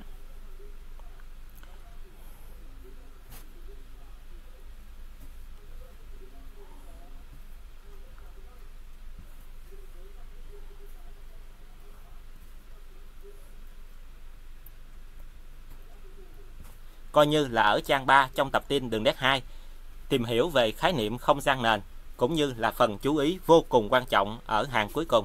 Tôi đã chia sẻ một cách rõ ràng và đầy đủ nhất với những gì mà tôi hiểu biết đến toàn thể mọi người. Mặc dù thì cũng có phần gì đó cũng hơi hạn hẹp một chút nhưng mà chắc không sao đâu. Đó mình biết cái gì thì mình nói ra cái đó thôi. Coi như là tôi biết tới đó thì tôi nói tới đó thôi. Nhưng mà quan trọng là qua màn vẽ minh họa của tôi thì chắc có lẽ là phần khái niệm này đã trở nên dễ hiểu hơn rồi thì chỉ có như vậy thôi. Khi nhắc tới hình dạng là chúng ta phải nghĩ ngay đến hai yếu tố đó chính là hình và nền. Hình ở đây có thể là hình mảng hình khói còn nền ở đây được hiểu theo kiểu đó là không gian nền sẽ là yếu tố phụ đóng vai trò lùi ra sau để tôn vinh hình, nhưng không phải lúc nào hình cũng nổi bật hơn nền, mà có những trường hợp như tôi đã nói, nếu như nền phức tạp, nền là yếu tố đập vào mắt người nhìn, khiến cho chúng ta có ấn tượng hơn cả hình, thì lúc đó phần nền mới chính là yếu tố để chúng ta làm nên thành công cho một bức họa hay trong một bản thiết kế. Do đó, sự quan trọng giữa hình và nền không phải lúc nào cũng giống như nhau. Mặc dù nói là nền nhưng không phải lúc nào nền cũng được đánh giá thấp hơn hình. Bây giờ chúng ta sẽ chuyển sang trang tiếp theo. Thì ở đây chỉ là hình ảnh mà cô Lan của tôi sưu tầm đưa vào đây để ví dụ cho học trò của mình có thể hiểu rõ hơn thôi. Như quý vị và các bạn cũng đang nhìn thấy đó thì trước mắt chúng ta đó chính là hai bức tranh thuộc trường phái siêu thực hay phùng thực gì đó tôi cũng không rõ nữa. ai ai thật sự là cũng ai, quá trời hại não luôn. Đây là hai bức tranh mà cô Lan của tôi đưa vào để ví dụ cho các dạng hình mảng, hình khối trên mặt phẳng. Thì một bức tranh vẽ cảnh một ngôi nhà, một ngôi biệt thự vô cùng khang trang và lộng lẫy. Kế bên là một bức tranh tả cảnh một chàng trai hay là một cô gái gì đó đang đạp xe đạp. Đây là hai bức tranh được vẽ theo một trường phái rất riêng biệt của hội họa mà chỉ có những họa sĩ có trình độ cao cũng như là một tư duy vô cùng sắc bén thì mới có thể vẽ nên những bức tranh như thế này thôi. Những bức tranh mà chỉ có hai tông màu chủ đạo đó chính là trắng và đen. Mặc dù thì không phải vẽ quá khó hiểu, nhưng khi chúng ta nhìn vào sẽ có rất là nhiều điều để chúng ta phải suy nghĩ, không phải nhìn vào một cái là hiểu liền. Giống như trong hai bức tranh này, bức tranh vẽ cảnh ngôi biệt thự rất là khang trang và lộng lẫy như mọi người đang nhìn thấy. Mặc dù nhìn vào là chúng ta biết rằng đây có thể là một ngôi biệt thự rất lớn, nhưng ngôi biệt thự này có một điều gì đó vô cùng bí hiểm và mờ ám, bởi vì chỉ có hai màu trắng và đen mà thôi. Và đặc biệt hơn là những chi tiết liên quan tới ngôi biệt thự này, chẳng hạn như là cửa sổ, cửa chính, rồi ống khói, rồi cây cối xung quanh, rồi lối vào chính, lối vào phụ hoặc là những yếu tố nào đó có liên quan đến một chỗ ở đều được thể hiện rất là bí hiểm, chứ không rõ ràng để cho chúng ta nhìn vào là thấy liền. Chỉ có điều, nhìn một cách tổng quan thì chúng ta biết được đây là một ngôi nhà rất lớn, được thiết kế theo phong cách cổ điển. Nói một cách chính xác hơn thì đây là một ngôi biệt thự rất đẹp, nhưng có rất là nhiều chỗ chúng ta không thể hiểu hết được. Còn bức tranh nằm bên tay phải cũng như vậy thôi. Một người nào đó đang đạp xe đạp rất là hì hục giống như là bị vợ kêu về nhà mà sợ chạy chậm quá về nhà, vợ sẽ đánh đòn hay sao đó cũng không hiểu luôn. Nhưng mà thật sự là cũng khiến cho chúng ta tốn rất là nhiều chất xám để mà suy nghĩ đây. Không biết đây là bức tranh nói về một vận động viên đang đạp xe đạp chuẩn bị về đích chạy nước rút, hay là nói về một ai đó đang đạp xe để tập thể dục chơi cho vui thôi. Cũng không hiểu luôn. Hoặc giống như theo ý nghĩ có phần gì đó cũng hài hước của tôi, đó chính là đây là một bức tranh nói về một chàng trai đang đạp xe đạp hì hục về nhà khi bị vợ kêu đấy giống như là đang đạp xe đạp buổi sáng đi tập thể dục vậy đó. Nhưng mà bất thình lình bị vợ kêu một cái quýnh quán. Có bằng là hồn lìa khỏi xác, bằng mọi giá phải đạp tức tốc, đạp bằng tốc độ ánh sáng để mà về nhà cho vợ kịp điểm danh hay sao đó. Nói chung là nhìn vào thì muốn hiểu sao hiểu thôi chung vậy đi. Mà dễ sợ, nó nói hồi nhức đầu dễ sợ. Đó. Thì đây là hai bức tranh để minh họa cho các dạng hình mảng, hình khối trên mặt phẳng. Qua trang tiếp theo tương quan tương phản hình và hình trong bố cục. Vấn đề này cũng không có gì quá khó hiểu. Bây giờ tôi sẽ đọc qua một cái nè. Các hình có hình dáng khác nhau, phương hướng khác nhau, kích thước khác nhau, tạo ra sự tương phản. Ví dụ, hình vuông kết hợp với một hình oval, cùng với đó là một hình ngũ giác kết hợp với một hình chữ nhật, và cuối cùng là một hình oval kết hợp với một hình tam giác thì ở đây, cũng chẳng có gì để cho chúng ta phải bận tâm quá nhiều đâu. Chủ yếu là mọi người phải hiểu được, trong một bức tranh hay trong một bản thiết kế, những hình dạng mà chúng ta vẽ ra không phải lúc nào cũng có kích cỡ giống như nhau. Và chính vì hình dạng này có kích cỡ không giống như hình dạng khác, mà nó tạo ra sự tương phản chỉ như vậy thôi. Hình này lớn hơn hình kia và có hình dạng khác hơn hình kia, thì hình này đã tương phản với hình kia rồi. Giống như trong ba ví dụ bên dưới mà cô tôi đưa ra.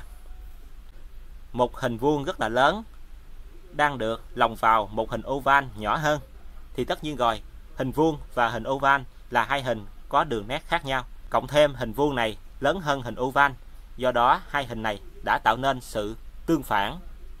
Thì tương quan tương phản hình và hình trong bố cục chỉ là như vậy thôi.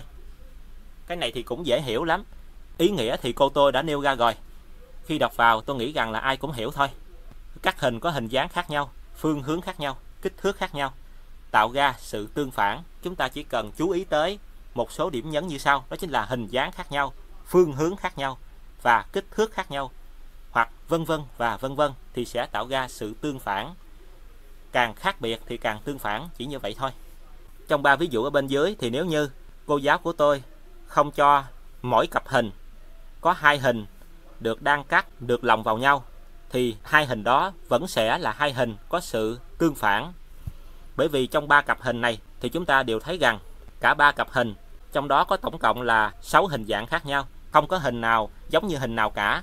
Về hình dáng, phương hướng cũng như là kích thước đều không giống nhau. Đặt trường hợp chúng ta đổi phương hướng cho hình oval và hình tam giác không chạm vào nhau, thì hai hình này vẫn sẽ là hai hình tương phản chỉ cần một trong ba yếu tố, đó chính là hình dáng khác nhau, hoặc phương hướng khác nhau, hoặc kích thước khác nhau, đã đủ để tạo ra sự tương phản rồi. Chứ không cần phải hội tụ đủ hết tất cả mọi yếu tố. Thì đơn giản chỉ là như vậy thôi. Chứ tôi nói nhiều quá thì sợ mọi người lại hết hiểu mới chết. À. thì ở phần ví dụ mọi người có thể nhìn vào ba cặp hình bên dưới. Một hình vuông kết hợp với một hình oval, một hình ngũ giác kết hợp với một hình chữ nhật, và một hình oval kết hợp với một hình tam giác để chúng ta có thể hiểu được. Nhìn vào một cái là mình hiểu được. Hiểu được thế nào? Vì sao ba cặp hình này được gọi là có sự tương phản với nhau?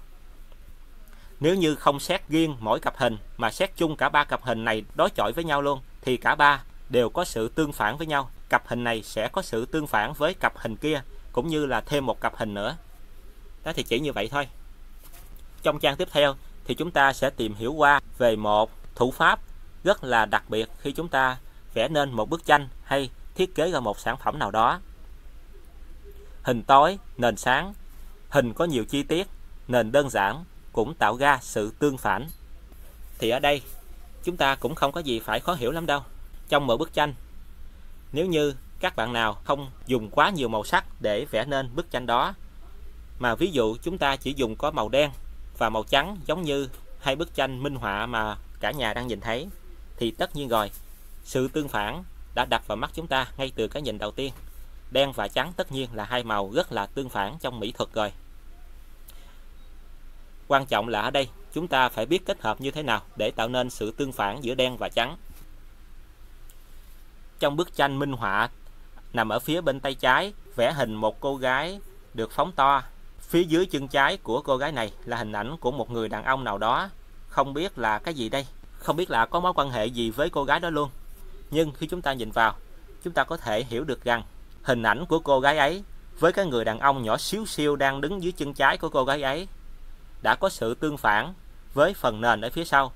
Và phần nền ở phía sau đó là một tòa lâu đài, hay là một cung điện, hay là một cái gì đó tôi cũng không rõ nữa, nhưng vô cùng trắng bóc. Và phía sau tòa lâu đài này lại là một nền đen giống như là vẽ cảnh vào ban đêm vậy chính vì có sự kết hợp, đan xen lẫn nhau giữa đen và trắng, tạo nên sự hỗ trợ, kết nối giữa tối và sáng mà bức tranh này đã có sự tương phản. Hình tối ở đây chính là cô gái và cái người đàn ông chút xíu đứng dưới chân của cô gái ấy. Còn nền sáng chính là tòa lâu đài rất là nguy nga, lộng lẫy, làm hình nền ở phía sau cô gái và người đàn ông chút xíu bà siêu này. Chính vì tòa lâu đài này được tô bằng một màu trắng, do đó đây được coi là nền sáng thì chỉ như vậy thôi. Nói chung là nhìn vào thì ai cũng hiểu được rồi. Đó. Thì hình tối, nền sáng, có ý nghĩa là như vậy thôi. Vẽ ra một bức tranh, phần hình có màu sắc tối, còn phần nền có màu sáng. Thì bức tranh đó đã có sự tương phản giống như bức tranh mà mọi người đang nhìn thấy. Bức tranh vẽ cảnh cô gái cùng với một người đàn ông chút xíu bà siêu đang đứng dưới chân của cô gái này. Phía sau là một tòa lâu đài rất là rộng lớn và xinh đẹp còn ở bức tranh kế bên. Vẽ cảnh, một hệ thống dây điện rất là chằng chịt và ngoằn ngoèo ở trên không. Chính vì hệ thống đường dây điện này kết nối với mọi nơi, được vẽ với rất nhiều chi tiết rối mắt và vô cùng phức tạp, giống như hệ thống đường dây điện ở các cột điện mà chúng ta thấy ở ngoài đường. Do đó mà phần nền của bức tranh này đã được vẽ vô cùng đơn giản. Tới đây thì chúng ta lại phải lật lại phần chú ý mà tôi đã nói rất rõ cho mọi người hiểu, đó chính là khi nền đơn giản thì hình phức tạp thì ở đây trong bức tranh vẽ cảnh một hệ thống đường dây điện rất chi là ngoằn ngoèo và chằng chịt này, chúng ta đã thấy được rất rõ điều đó. Bởi vì hệ thống đường dây điện này rất là phức tạp, có rất là nhiều chi tiết từ lớn cho đến nhỏ mà nếu vẽ ra được một cách hoàn chỉnh chúng ta phải mất rất là nhiều thời gian. Do đó, phần nền của bức tranh này chỉ là một màn đêm u ám chứ không có gì khác thêm. Bởi vì hệ thống đường dây điện này đã quá nhiều chi tiết rồi. Do đó tác giả đã cho phần nền rất là đơn giản, vẽ nên một phần nền mà chỉ có một màu đen thôi. Và để cho màu đen này có thể tạo ra sự tương phản với hệ thống đường dây điện và khiến cho hệ thống đường dây điện này trở nên nổi bật, đập vào mắt người nhìn. Ngay khi chúng ta vừa nhìn vào bức tranh, khi chúng ta vẽ một bức tranh mà phần hình rất là phức tạp và rắc rối, có vô vàng chi tiết, dù dễ hiểu hay là khó hiểu đi chăng nữa, thì phần nền chúng ta cũng phải thu bớt lại một chút xíu. Nếu như phần nền chúng ta cũng vẽ y chang như phần hình, thì lúc đó sự tương phản, mặc dù cũng sẽ được nhìn ra, nhưng nó sẽ không được nổi bật và có phần gì đó thiếu chính xác.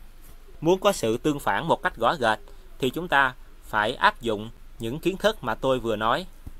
Mặc dù thì trong mỹ thuật, tất nhiên là không phải lúc nào chúng ta cũng làm đúng y chang như vậy, nhưng thông thường nếu như chúng ta muốn có được một tác phẩm hay một sản phẩm đẹp thì chúng ta luôn phải tuân theo những quy tắc này. Quy tắc có thể sáng tạo hoặc có thể thay đổi hoặc có thể vượt qua mà không cần quan tâm đến nó. Nhưng có những trường hợp nếu như chúng ta không tuân thủ quy tắc thì tác phẩm hay sản phẩm của chúng ta sẽ không được như ý muốn.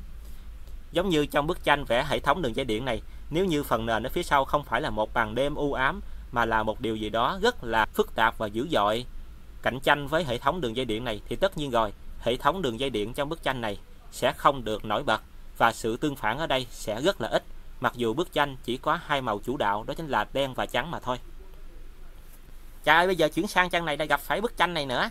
Cái bức tranh mà chắc là quý vị và các bạn những ai mà có xem qua video clip đầu tiên của tôi thì chắc đều rõ rồi nè. Trời ơi bức tranh này là cô giáo của tôi đã đưa vào bài 1 đường nét rồi. Bây giờ trong bài 2 hình dạng tôi cũng lại gặp bức tranh này nữa. Không biết vì sao mà lúc nào cô Lan của tôi cũng đưa bức tranh này vào phần ví dụ để cho học trò của mình hiểu hết để rồi giờ đây, tôi lại phải chia sẻ bức tranh này đến toàn thể mọi người đây. Trời ai. Hình như là cái gì mà mình càng sợ thì mình lại càng phải đối diện hoài hay sao đó? Cũng chả hiểu luôn, cái này giống như là một định mệnh vậy. Một trong những bức tranh ví dụ mà tôi phải nói rằng là cực kỳ hoảng sợ và mất bình tĩnh mỗi khi nhìn thấy nó luôn. Hay ai. Trong video clip đầu tiên tôi thực hiện thì tôi đã nói rất là nhiều về bức tranh này rồi. Bây giờ ở trong video clip thứ hai này thì tôi lại phải nói nhiều về nó nữa, nhưng mà không, lần này sẽ không nói đâu. Trong video clip trước thì nói quá nhiều về bức tranh này rồi, nên bây giờ thì chắc tôi sẽ cho qua. Đây là một bức tranh mà khiến cho tôi ờ, bị ám ảnh luôn. Mình nhìn vào là mình không hiểu gì hết, mình không biết là tác giả đang nói đến điều gì nữa. Không biết là tác giả của bức tranh này là một họa sĩ theo trường phái nào đó.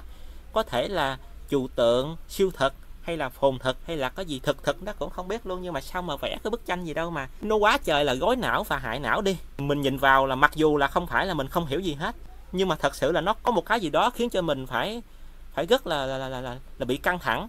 Hình ảnh của một người đàn ông đang khuỵu gối rất chi là gầu gỉ và buồn bã. Và người đàn ông này hình như là đang sắp dùng hai tay che mặt của mình lại. Khi anh ta đang khóc hay sao đó cũng chả hiểu luôn. Theo kiểu giống như là anh ta đã quá trời là tuyệt vọng rồi. Cái này là chắc là đã hát qua bài à, tôi ơi đừng tuyệt vọng của nhạc sĩ Trịnh Công Sơn rồi mà vẫn còn rất là tuyệt vọng. Do đó anh ta chẳng thể nào làm khác hơn. Nhưng mà cái vấn đề ở đây đó là chàng trai hay người đàn ông này. Lại được tác giả lồng vào trong một cái gì đó tôi cũng không hiểu luôn, không biết đây là cái nhà hay là một cái bọc giấy, cái bọc gì đó mà người ta thường dùng để đựng bánh mì sandwich hay là bánh mì gì đó tôi cũng không hiểu nữa, trời ơi. Không biết là đây là cái gì luôn. Một người đàn ông đang rất chi là tuyệt vọng trong cuộc đời của mình. Lại được đặt trong một thứ gì đó mà cũng chẳng hiểu nữa. Phần nền thì đang thui thùi lùi, còn phần hình thì là một ngôi nhà một bọc giấy hay là một cái gì đó đang đựng một người đàn ông rất là gầu gỉ chán đời. Và hình như là cũng sắp sửa đi tự tử luôn rồi. Trời ở ngoài đời mà nếu như quý vị và các bạn thấy một ai mà có một cái tư thế giống như người đàn ông này thì chắc có lẽ rằng là mình cũng thừa biết người đó rất là gầu gỉ buồn bã và rất có thể là đã chán đời lắm rồi. Ai, ai thiệt sợ bức tranh này dữ luôn. Không hiểu sao mà càng sợ thì mình lại gặp nó hoài không biết là trong những bài học tiếp theo khi mà tôi chia sẻ đến toàn thể quý vị và các bạn thì tôi có gặp lại hình ảnh của người đàn ông này hay không? Nhưng mà nó thật là bây giờ là sợ dữ rồi. Ai, ai sao mà cô Lan của tôi thích bức tranh này dữ vậy không biết? Mỗi lần mà đưa vào phần ví dụ cho học trò của mình hiểu là cô lại dùng bức tranh này. Ai, sợ thiệt. Học trò của cô thì sợ lắm rồi đó nhưng mà không biết rằng quý vị và các bạn những người đang theo dõi video clip mà tôi chia sẻ sẽ có cảm giác như thế nào đây? Có thể là mọi người sẽ thích nó chứ không phải là sợ như tôi đâu. Hay nó thì kệ đi nói chung là cũng cho qua đi trời nhưng nhìn hồi nó chắc thì chắc hạ đường huyết luôn quá. Trời ơi, chỉ vì hình ảnh của một người đàn ông đang ngồi tuyệt vọng trong một cái hộp giấy thôi mà tôi bị hạ đường huyết luôn. Khổ dễ sợ. Bây giờ qua trang này, tương quan nói kết hình và hình trong bố cục. Thì ở đây, chúng ta cũng chẳng có gì phải mà bận tâm nữa đâu. Bởi vì thật sự ở trang này cũng chẳng có điều gì được gọi là khó hiểu cả. Tương quan đồng tâm, tương quan lệch tâm, tương quan giao nhau tương quan cắt nhau. Vấn đề này thì nếu như các bạn nào mà không giỏi về mỹ thuật, nhưng các bạn giỏi về toán hình học, thì có thể là các bạn cũng sẽ rất là dễ hiểu, chứ không cần là các bạn phải vẽ đẹp hay là gì đó đâu. Đó. Thì tương quan động tâm là gì? Tương quan lịch tâm là gì? Tương quan giao nhau, rồi tương quan cắt nhau. Bốn cái tương quan này, cô Lan của tôi đã cho vào mỗi tương quan một hình vẽ, ví dụ để cho học trò của cô có thể hiểu rõ hơn và để bây giờ mọi người có thể hiểu rõ hơn những gì mà tôi đang nói đây. Đó, thì tôi sẽ dừng lại ở đây một chút nè, để cho mọi người có thể nhìn rõ hơn. Thì tương quan như thế này cũng chẳng có gì khó lắm đâu. Và ở đây mọi người phải nhớ phải nhớ cho thật rõ rằng đây là tương quan, nối kết hình và hình trong bố cục. Khi chúng ta vẽ ra một bức tranh hay thiết kế một sản phẩm nào đó, có những lúc chúng ta phải có sự tương quan, nối kết hình và hình trong bố cục, giống như trang này mà mọi người đang nhìn thấy. Đồng tâm là gì? Lệch tâm là gì? Giao nhau là gì? Cắt nhau là gì? Cũng chẳng có gì được gọi là khó hiểu cả. Cô Lan của tôi đã vẽ minh họa và đưa vào hết rồi. Như tương quan đồng tâm, quý vị và các bạn cũng có thể thấy có tổng cộng 3 hình vuông được lồng vào nhau. Trong đó, hình vuông đầu tiên là hình vuông lớn nhất. Hai hình vuông còn lại sẽ nhỏ hơn hình vuông đầu tiên này. Trong đó, hình vuông thứ ba là hình vuông nhỏ nhất. Cả ba hình vuông này đều được nhìn ở góc độ đó chính là từ lớn, nhỏ dần vào sâu bên trong. Và chính vì càng vào sâu bên trong mà càng nhỏ dần, nên ba hình vuông này đã được đặt ở vị trí đó chính là đồng tâm với nhau. Mặc dù là kích thước không giống nhau, nhưng cả ba hình vuông này đều có một điểm chung, đó chính là nhỏ dần. Nhưng mà là nhỏ dần theo kiểu là cách nhau rất là đều, chứ không có bị xiên, bị vẹo hay là bị lệch cái gì cả, mà là rất là đều luôn. Hình vuông thứ nhất cho tới hình vuông thứ hai nằm ở bên trong rồi cho tới hình vuông thứ ba nằm sâu nhất, đều cách nhau rất đều. Và do đó, đây chính là tương quan đồng tâm. Còn tương quan lệch tâm thì là ngược lại thôi, có nghĩa là không có đồng tâm với nhau. Như trong ba hình tròn mà quý vị và các bạn đang nhìn thấy, thì hình tròn đầu tiên là hình tròn lớn nhất. Nhưng, khi đến hình tròn thứ hai, nhỏ hơn hình tròn đầu tiên mà chúng ta nhìn sâu bên trong, thì hình tròn thứ hai này đã không nằm cùng tâm so với hình tròn đầu tiên. Và hình tròn thứ ba thì cũng như vậy. Có nghĩa là hình tròn thứ hai và hình tròn thứ ba. Khi nằm trong hình tròn đầu tiên, đã không nằm ở vị trí đồng tâm với nhau mà có sự lệch tâm. Chính vì vậy mà ba hình tròn này đã không cách đều nhau, mặc dù đã được lồng vào nhau. Thì đó chính là tương quan lệch tâm. Chỉ như vậy thôi. Tương quan sao nhau thì mọi người cũng đã hiểu. Đó, nhìn vào một cái là mình hiểu liền.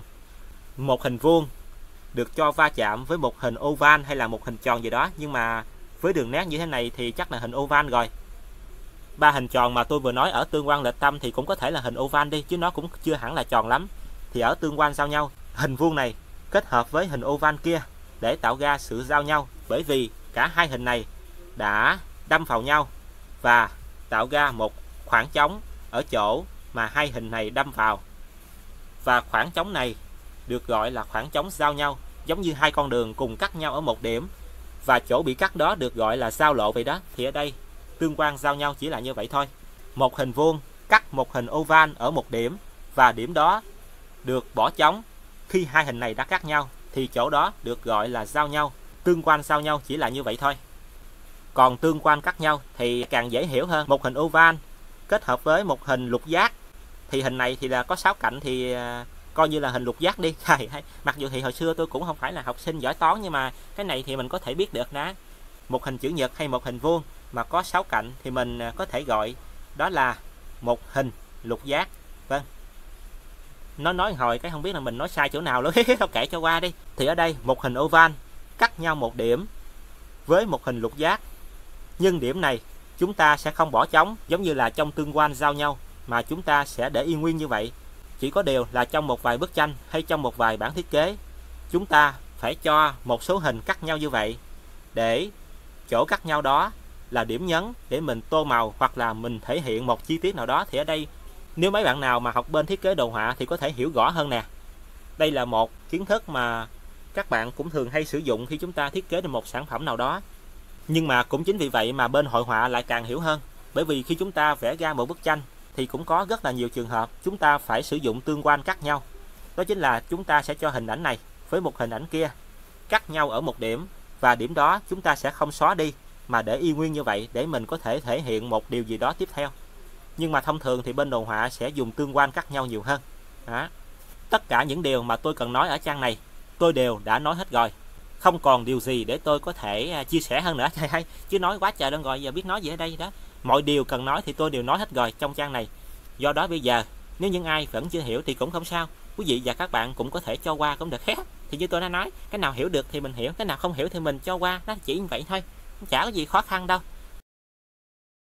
Bây giờ, chúng ta sẽ qua trang này và tìm hiểu về ý nghĩa không gian hình và nền. Thì như những gì mà tôi đã chia sẻ từ nãy tới giờ rồi, nếu như những ai mà đã theo dõi video clip thứ hai này của tôi cho đến đoạn này, có lẽ rằng ở phần ý nghĩa không gian hình và nền, tôi cũng chẳng cần phải nói nhiều gì đâu, mà chỉ cần đọc qua một cái cùng với đó là quý vị và các bạn tự đọc, thì chúng ta cũng tự rút ra cho mình những ý nghĩa hoặc là những suy nghĩ nào đó để cho mình có thể áp dụng vào thực tiễn. Hình và nền tương quan chặt chẽ với nhau, tôn vinh nhau, cùng làm nổi bật ý chính mà người thiết kế muốn truyền đạt đến người xem. Tất cả mọi điều mà tôi nói từ đầu đến giờ đều nằm trong phần ý nghĩa này. Đó, như tôi đã nói, hình và nền chính là một cặp trời sinh, không ai có thể chia lìa được họ. Do vậy, lúc nào hình và nền cũng đi bên nhau, sánh bước bên nhau để tôn vinh nhau, làm cho nhau trở nên nổi bật hơn. Và quan trọng, khiến cho người nhìn cảm thấy thích thú và phải chú tâm đến hình và nền nằm trong một tác phẩm hay một sản phẩm nào đó thuộc về mỹ thuật. Thì chỉ như vậy thôi. Hình và nền giống như là một chàng trai và một cô gái vậy đó. Lúc nào cũng sánh bước bên nhau, lúc nào cũng đi bên nhau, kè kè bên nhau, giống như là thiếu nợ nhau từ 8 kiếp trước vậy đó. Thì mọi người có thể hiểu đơn giản như vậy, khi chúng ta vẽ ra một bức họa hay là một sản phẩm thuộc về đồ họa hay là nội thất, thời trang gì đó, không cần biết. Nhưng khi chúng ta đã vẽ ra rồi, thì chắc chắn rằng trong tác phẩm hoặc sản phẩm đó của chúng ta luôn luôn phải có hình và nền. Bởi vì hình và nền là hai yếu tố không thể nào thiếu được. Có hình mà không có nền, thì bức tranh đó hay bản thiết kế đó cũng sẽ trở nên vô nghĩa. Hoặc ngược lại, có nền mà hình thì biến đi đâu mất, không biết vì sao luôn, giống như là hình đang bỏ trốn hoặc là muốn chia tay với nền vậy. Thì tác phẩm hay bản thiết kế đó cũng chẳng còn gì để nói nữa. Nói chung, tóm lại, hình và nền rất là quan trọng với nhau. Và không thể nào thiếu được. Mất hình hay mất nền thì cũng không được, mà lúc nào chúng ta cũng phải để cho hình và nền sánh bước bên nhau. Nói tóm lại, hình và nền là một cặp đôi mà không ai có thể chia cách được họ. Nếu như chúng ta chia cách hình và nền, thì mỹ thuật sẽ không còn ý nghĩa gì nữa. Thì nói như vậy thôi là mọi người hiểu được rồi. Không cần phải nói gì thêm. Đó mọi người cũng có thể hiểu sâu xa hơn hoặc là hiểu một cách khiêm tốn hơn cũng được. Nói chung là mình muốn hiểu sao cũng được. Nhưng mà dù là mình hiểu nhiều hay hiểu ít thì quan trọng là chúng ta phải biết được rằng hình và nền lúc nào cũng phải được đặt bên nhau và không thể nào sống thiếu nhau được. Có hình mà không có nền thì tất cả cũng chỉ là vô nghĩa và ngược lại cũng vậy thôi. Bây giờ, trong phần cuối của video clip thứ hai này, tôi sẽ cho quý vị và các bạn cùng thưởng thức rất là nhiều bức tranh rất là liên quan đến hình và nền luôn. Thì tất nhiên rồi, như tôi đã nói, thì tranh nào thì cũng vậy thôi, thậm chí là tranh cát hay chăng nữa thì cũng phải có hình và nền. Chứ nếu như mà thiếu một trong hai yếu tố đó, thì bức tranh đó hay bản thiết kế đó sẽ trở nên vô nghĩa. Thì bây giờ chúng ta sẽ đến với một phần mà cực kỳ giải trí đây. Sẽ không còn những điều gì đó khiến cho mọi người phải đau đầu suy nghĩ hoặc là bứt tóc hoặc là hại gan hoặc là cảm thấy ờ, bức xúc hay là bực bội gì ở đâu. Nói chung là bây giờ chúng ta sẽ đến với phần thưởng thức những bức tranh đây. Mặc dù thì cũng không biết ờ, tác giả của những bức tranh này là ai nhưng mà thôi kệ đi, quan trọng là mình xem, mình thích thôi chứ tác giả là ai thì tự tìm hiểu. Còn nếu như tự tìm hiểu mà cũng ờ, không biết đó là tác giả nào luôn thì cũng cho qua. Đó tôi là vậy đó, cái nào mà mình khó quá là mình cho qua vậy thôi. Bởi vì ờ, con người chúng ta, đâu phải ai cũng hoàn hảo đâu, đúng không? Đó, đâu phải cái gì mình cũng hiểu hết được. Mặc dù là mình đang xem một bức tranh, mình rất thích bức tranh đó, nhưng đâu phải lúc nào mình cũng biết được tác giả là ai đâu, đúng không? Thì bây giờ chúng ta sẽ cùng nhau lắng động lại để mà thưởng thức những bức tranh mà tôi đang chia sẻ đến mọi người đây trong trang này sẽ có hai bức tranh. Mặc dù là hai bức tranh, nhưng giống như là mặt trước và mặt sau của một bản thiết kế nào đó vậy. Hoặc có thể đây là hai bức tranh liên quan đến một chủ đề nào đó mà tác giả chia ra hai phần, hoặc đây là một bìa sách chẳng hạn. Tất nhiên rồi, một bìa sách thì phải có mặt trước và mặt sau. Mặt trước đó chính là bức tranh bên tay trái, còn mặt sau là bức tranh bên tay phải. Đó. tranh vẽ rất đẹp luôn mặc dù thì không phải nhìn vào là chúng ta hiểu liền. Không hiểu vì sao mà cô Lan của tôi khi mà thực hiện pha giáo trình môn mỹ thuật cơ bản này, lại toàn đưa vào những bức tranh mà không phải ai nhìn vào cũng hiểu được. Học trò của cô nhìn vào mà còn không hiểu được nữa mà. Đó. tất nhiên thì hai bức tranh này rất là đẹp đẽ và cuốn hút. Chứ không như những bức tranh phồn thực, siêu thật mà tôi đã từng chia sẻ đến toàn thể mọi người. Mà hai bức tranh vẽ cảnh hai chú chim đang đậu trên cành cây, xung quanh là hoa và lá, rất là sặc sỡ và rực rỡ luôn. Nhìn vào một cái là mình thích liền. Thậm chí phần nền cũng rất là nổi bật. Phần nền thì một bên là màu tím xanh, bên còn lại là màu tím hồng, đó. Còn ngôn ngữ mà tác giả thể hiện trong hai bức tranh này hình như không phải là tiếng Anh mà là tiếng Pháp hay là tiếng gì đó, tôi cũng không rõ nữa thầy ơi đó. nhìn vào thì chắc có lẽ đây là tiếng Pháp rồi, chứ không phải là tiếng Tây Ban Nha hay là tiếng Ý gì đâu. Đó, quá đẹp luôn. Bởi vì hai bức tranh này là một tượng trưng cho mặt trước và mặt sau của một cuốn sách. Mình có thể hiểu như vậy, do đó, mặc dù là chúng ta có thể thấy được cả hai chú chim, nhưng thực chất đây chỉ là một mà thôi, thì cũng có thể là như vậy. Nhưng mà nhìn kỹ hơn thì chắc là hai chú chim thiệt, bởi vì chú chim bên bức tranh bên trái cũng như là chú chim bên bức tranh bên phải thì không có giống nhau lắm. Mặt trước và mặt sau của bìa sách này thì à, vẽ hai chú chim khác nhau. Nhưng mà ở đây là tôi chỉ nói theo ý của mình thôi, chứ à, không chắc chắn là hai bức tranh này được tác giả thiết kế cho một bìa sách đâu nhé cả nhà. Đó, cái này là tôi chỉ nói theo à, cảm nhận của tôi thôi. Tôi nhìn vào thì tôi thấy hai bức tranh này giống như là mặt trước và mặt sau của một cuốn sách vậy. Còn quý vị và các bạn nhìn vào thấy như thế nào thì tùy quý vị và các bạn thôi, chứ tôi không có ép buộc phải suy nghĩ giống như tôi.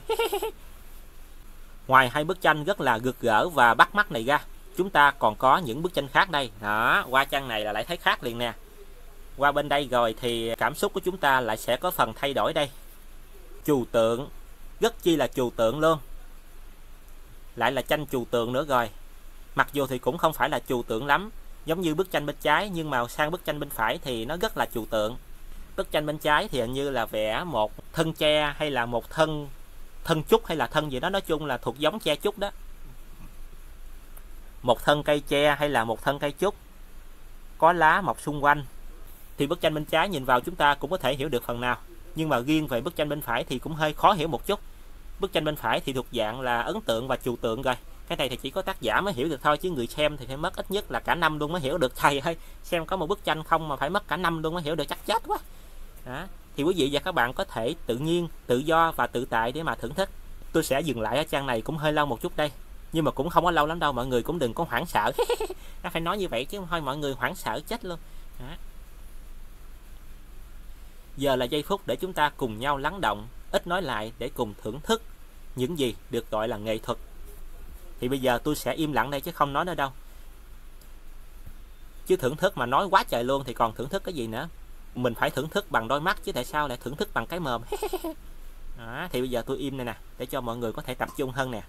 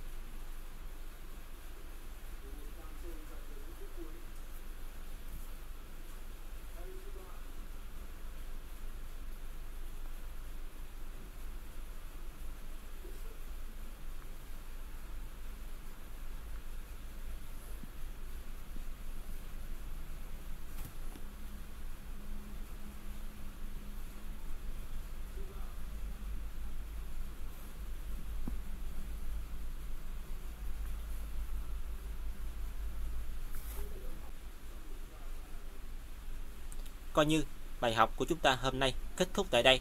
Hiện giờ thấy cũng đâu còn biết chia sẻ gì ở đâu. Nói chung là những gì liên quan đến bài 2 hình dạng thì tôi cũng đã nói rất là rõ ràng. Kết hợp với những màn vẽ minh họa rất chi là ngộ nghĩnh và nguệch ngoạc của tôi, thì coi như là tôi cũng đã truyền tải cũng như là chia sẻ hết tất cả những gì mà tôi biết từ file giáo trình của cô giáo chủ nhiệm ngày xưa của tôi để lại cho mọi người hiểu hết rồi. Còn nếu như những ai mà chưa hiểu thì như tôi đã nói cũng không sao đâu. Cái nào mình hiểu được thì mình hiểu, cái nào không hiểu thì mình cho qua mình không hiểu cái gì hết thì cũng không sao luôn. Đó nói chung là cũng rất là dễ lắm chứ. Cũng chẳng có gì phải mà gắt gao lắm đâu. Mọi người cứ hết sức là bình tĩnh. Tới đây rồi nhé mọi người. Chúng ta sắp sửa kết thúc video clip ngày hôm nay rồi. Nên mọi người đừng có hoảng sợ nha. À, phải nói như vậy chứ không thôi sẽ có rất là nhiều người hoảng sợ đây. Không hiểu vì sao mà lúc nào tôi cũng lo lắng như vậy hết. Bây giờ chúng ta đã sắp sửa kết thúc bài học ngày hôm nay rồi. Cho nên mọi người phải thật sự bình tĩnh. Đừng có hoảng sợ nha. Đó thì chỉ như vậy thôi ở bài 2 hình dạng này khi kết thúc video. Nói chung là tôi cũng chẳng có gì để mà nói thêm với cả nhà nó đâu. Mọi thứ ờ, cần nói thì tôi đã nói hết rồi. Còn những gì bên lề, những chuyện vui vui, hài hước, giống như là trong video clip đầu tiên, thì có lẽ rằng tôi sẽ dành cho những video clip tiếp theo. Chẳng hạn như là trong video clip thứ ba sắp tới. Còn trong video clip thứ hai này, có lẽ là tôi nên dừng ở đây thôi, chứ cũng chẳng biết nói gì hơn. Không hiểu vì sao mà trong ngày hôm nay mình lại ờ, thật sự là cũng cạn ý tưởng quá đi bây giờ chia sẻ xong bài học của ngày hôm nay rồi, nhưng mà tôi cũng chẳng nghĩ ra được điều gì để mà nó đến toàn thể quý vị và các bạn nữa. Đó. khi mình không nghĩ ra được thì tốt nhất là mình nên im, mình nên cho qua. Chứ còn không nghĩ ra được mà mình cứ cố nói thì thật sự là cũng chẳng biết mình nói cái gì luôn. Đó. cho nên hôm nay chúng ta chỉ đến đây thôi. Nhưng vẫn có một chia sẻ nào đó có phần bên lề, bên cạnh bài học mà tôi đã cho mọi người tìm hiểu trong video clip thứ hai ngày hôm nay. Đó chính là hôm nay thứ hai ngày 6 tháng 9 năm 2021 tôi 25 tuổi 364 ngày. Tính ra là cũng chỉ còn có hai ngày nữa thôi, là tôi đã chính thức bước sang tuổi mới rồi đó mặc dù thì nói là chỉ còn có hai ngày đó thôi là mình đã được ăn sinh nhật tuổi mới rồi, nhưng mà cũng chẳng có gì để mà mình phải hứng thú hay là vui vẻ đâu. Nói nói chung là cũng chả có gì để vui hết. Mặc dù là sắp tới sinh nhật rồi, nhưng mà tôi thấy cũng chả có gì để vui hết thật sự là như vậy luôn. Bởi vì theo thời gian khi chúng ta lớn lên qua mỗi mùa sinh nhật, không hiểu sao mà chúng ta lại à, càng thấy à, sinh nhật cũng chẳng có điều gì để mà mình phải bận tâm nữa cả. Điển hình như là ở bản thân tôi đây mặc dù chỉ còn hai ngày nữa thôi là mình bước vào sinh nhật tuổi mới của mình rồi, nhưng mà thật sự là trong lòng mình cũng chả vui tí nào. Không phải là vì à, sinh nhật của mình, năm nay lại tiếp tục diễn ra trong bối cảnh mà đại dịch Covid-19 đang hoành hành trên toàn thế giới đâu, mà là vì rất nhiều lý do khác đó. thì khi chúng ta càng lớn lên, qua mỗi mùa sinh nhật, chúng ta lại càng có nhiều điều để cho mình phải chăn trở, lo lắng, cũng như là nghĩ suy nhiều hơn thôi, chứ cũng chả được gì hết. Nó khác rất nhiều so với hồi xưa. Khi chúng ta có thể nhỏ hơn tuổi này một chút, tất nhiên là với khoảng cách độ tuổi, cách đây khoảng chừng 3-4 năm trước thì cũng không có gì là quá cách biệt lắm. Nhưng mà lúc đó thì tôi còn vui, chứ còn bây giờ tôi nghĩ rằng cũng sẽ có rất là nhiều bạn giống như tôi đây. Đó chính là khi chúng ta ở tầm tuổi này rồi, mỗi lần ăn sinh nhật thì đó lại là một lần khiến cho chúng ta cảm thấy rất là vô vị và nhàm chán. Tất nhiên là cũng tùy người thôi chứ không phải là hoàn cảnh của ai cũng như vậy đâu. Nhưng mà với tôi thì như vậy đó, đó. Bây giờ ở tuổi này rồi khi mà chuẩn bị sinh nhật cho mình thì tôi cũng chả thấy có gì để mà khiến cho mình phải có động lực nó cả. Đó. tất nhiên là mình cũng phải vui chứ đúng không? Bởi vì mình bước qua tuổi mới mà biết đâu là sẽ có một điều gì đó mới mẻ tươi mới cũng cũng như là may mắn hơn cho cuộc đời của mình khi chúng ta bước sang một trang mới trong độ tuổi mới nhưng mà thật sự thì à, tính ra là cũng chẳng có gì để nói đâu đó thì chỉ như vậy thôi khi đến một giai đoạn nào đó bước qua mỗi mùa sinh nhật chúng ta chỉ càng có thêm rất là nhiều điều khiến cho mình phải chăn trở, suy nghĩ và lo lắng thêm thôi. Còn niềm vui, sự phấn khởi cũng như là niềm tin và hy vọng sẽ bị mất dần trong mỗi mùa sinh nhật ấy. Nhưng mà nói tới đây mọi người cũng đừng có bi quan nhé bởi vì đây chỉ là quan điểm cũng như là ý kiến có phần gì đó rất chi là chủ quan của tôi thôi. Đó, thì suy nghĩ của tôi là như vậy thôi chứ không có bắt mọi người phải có cảm xúc giống như vậy. Coi như là chúng ta kết thúc video clip thứ hai ngày hôm nay và chúng ta vẫn sẽ còn một cuộc hẹn ở video clip thứ ba. Mọi người hãy nhớ nhé chúng ta vẫn còn một cuộc hẹn rất chi là quan trọng đó. Thì chỉ như vậy thôi. Video clip thứ hai ngày hôm nay của tôi chính thức khép lại tại đây. Chào cả nhà.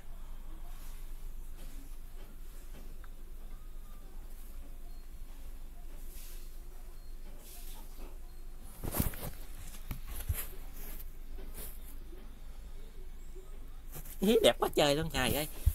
Không hiểu vì sao mà mỗi lần nhìn thấy màn hình chính như thế này thì trái tim tôi lại bị thổn thức cả nhà. Hey, cũng đúng thôi. Người gì đâu mà đẹp và dễ thương quá trời cơ mà. Không thổn thức sao được. Hey, cũng ghét thiệt đó chứ. Trời ơi màn hình chính gì đâu mà cứ cứ khiến cho mình phải ờ, rung lên vì loạn nhịp này. Cứ mỗi lần nhìn thấy là trái tim mình lại phải thổn thức và đập lung tung còn hơn là bị mắc bệnh tim.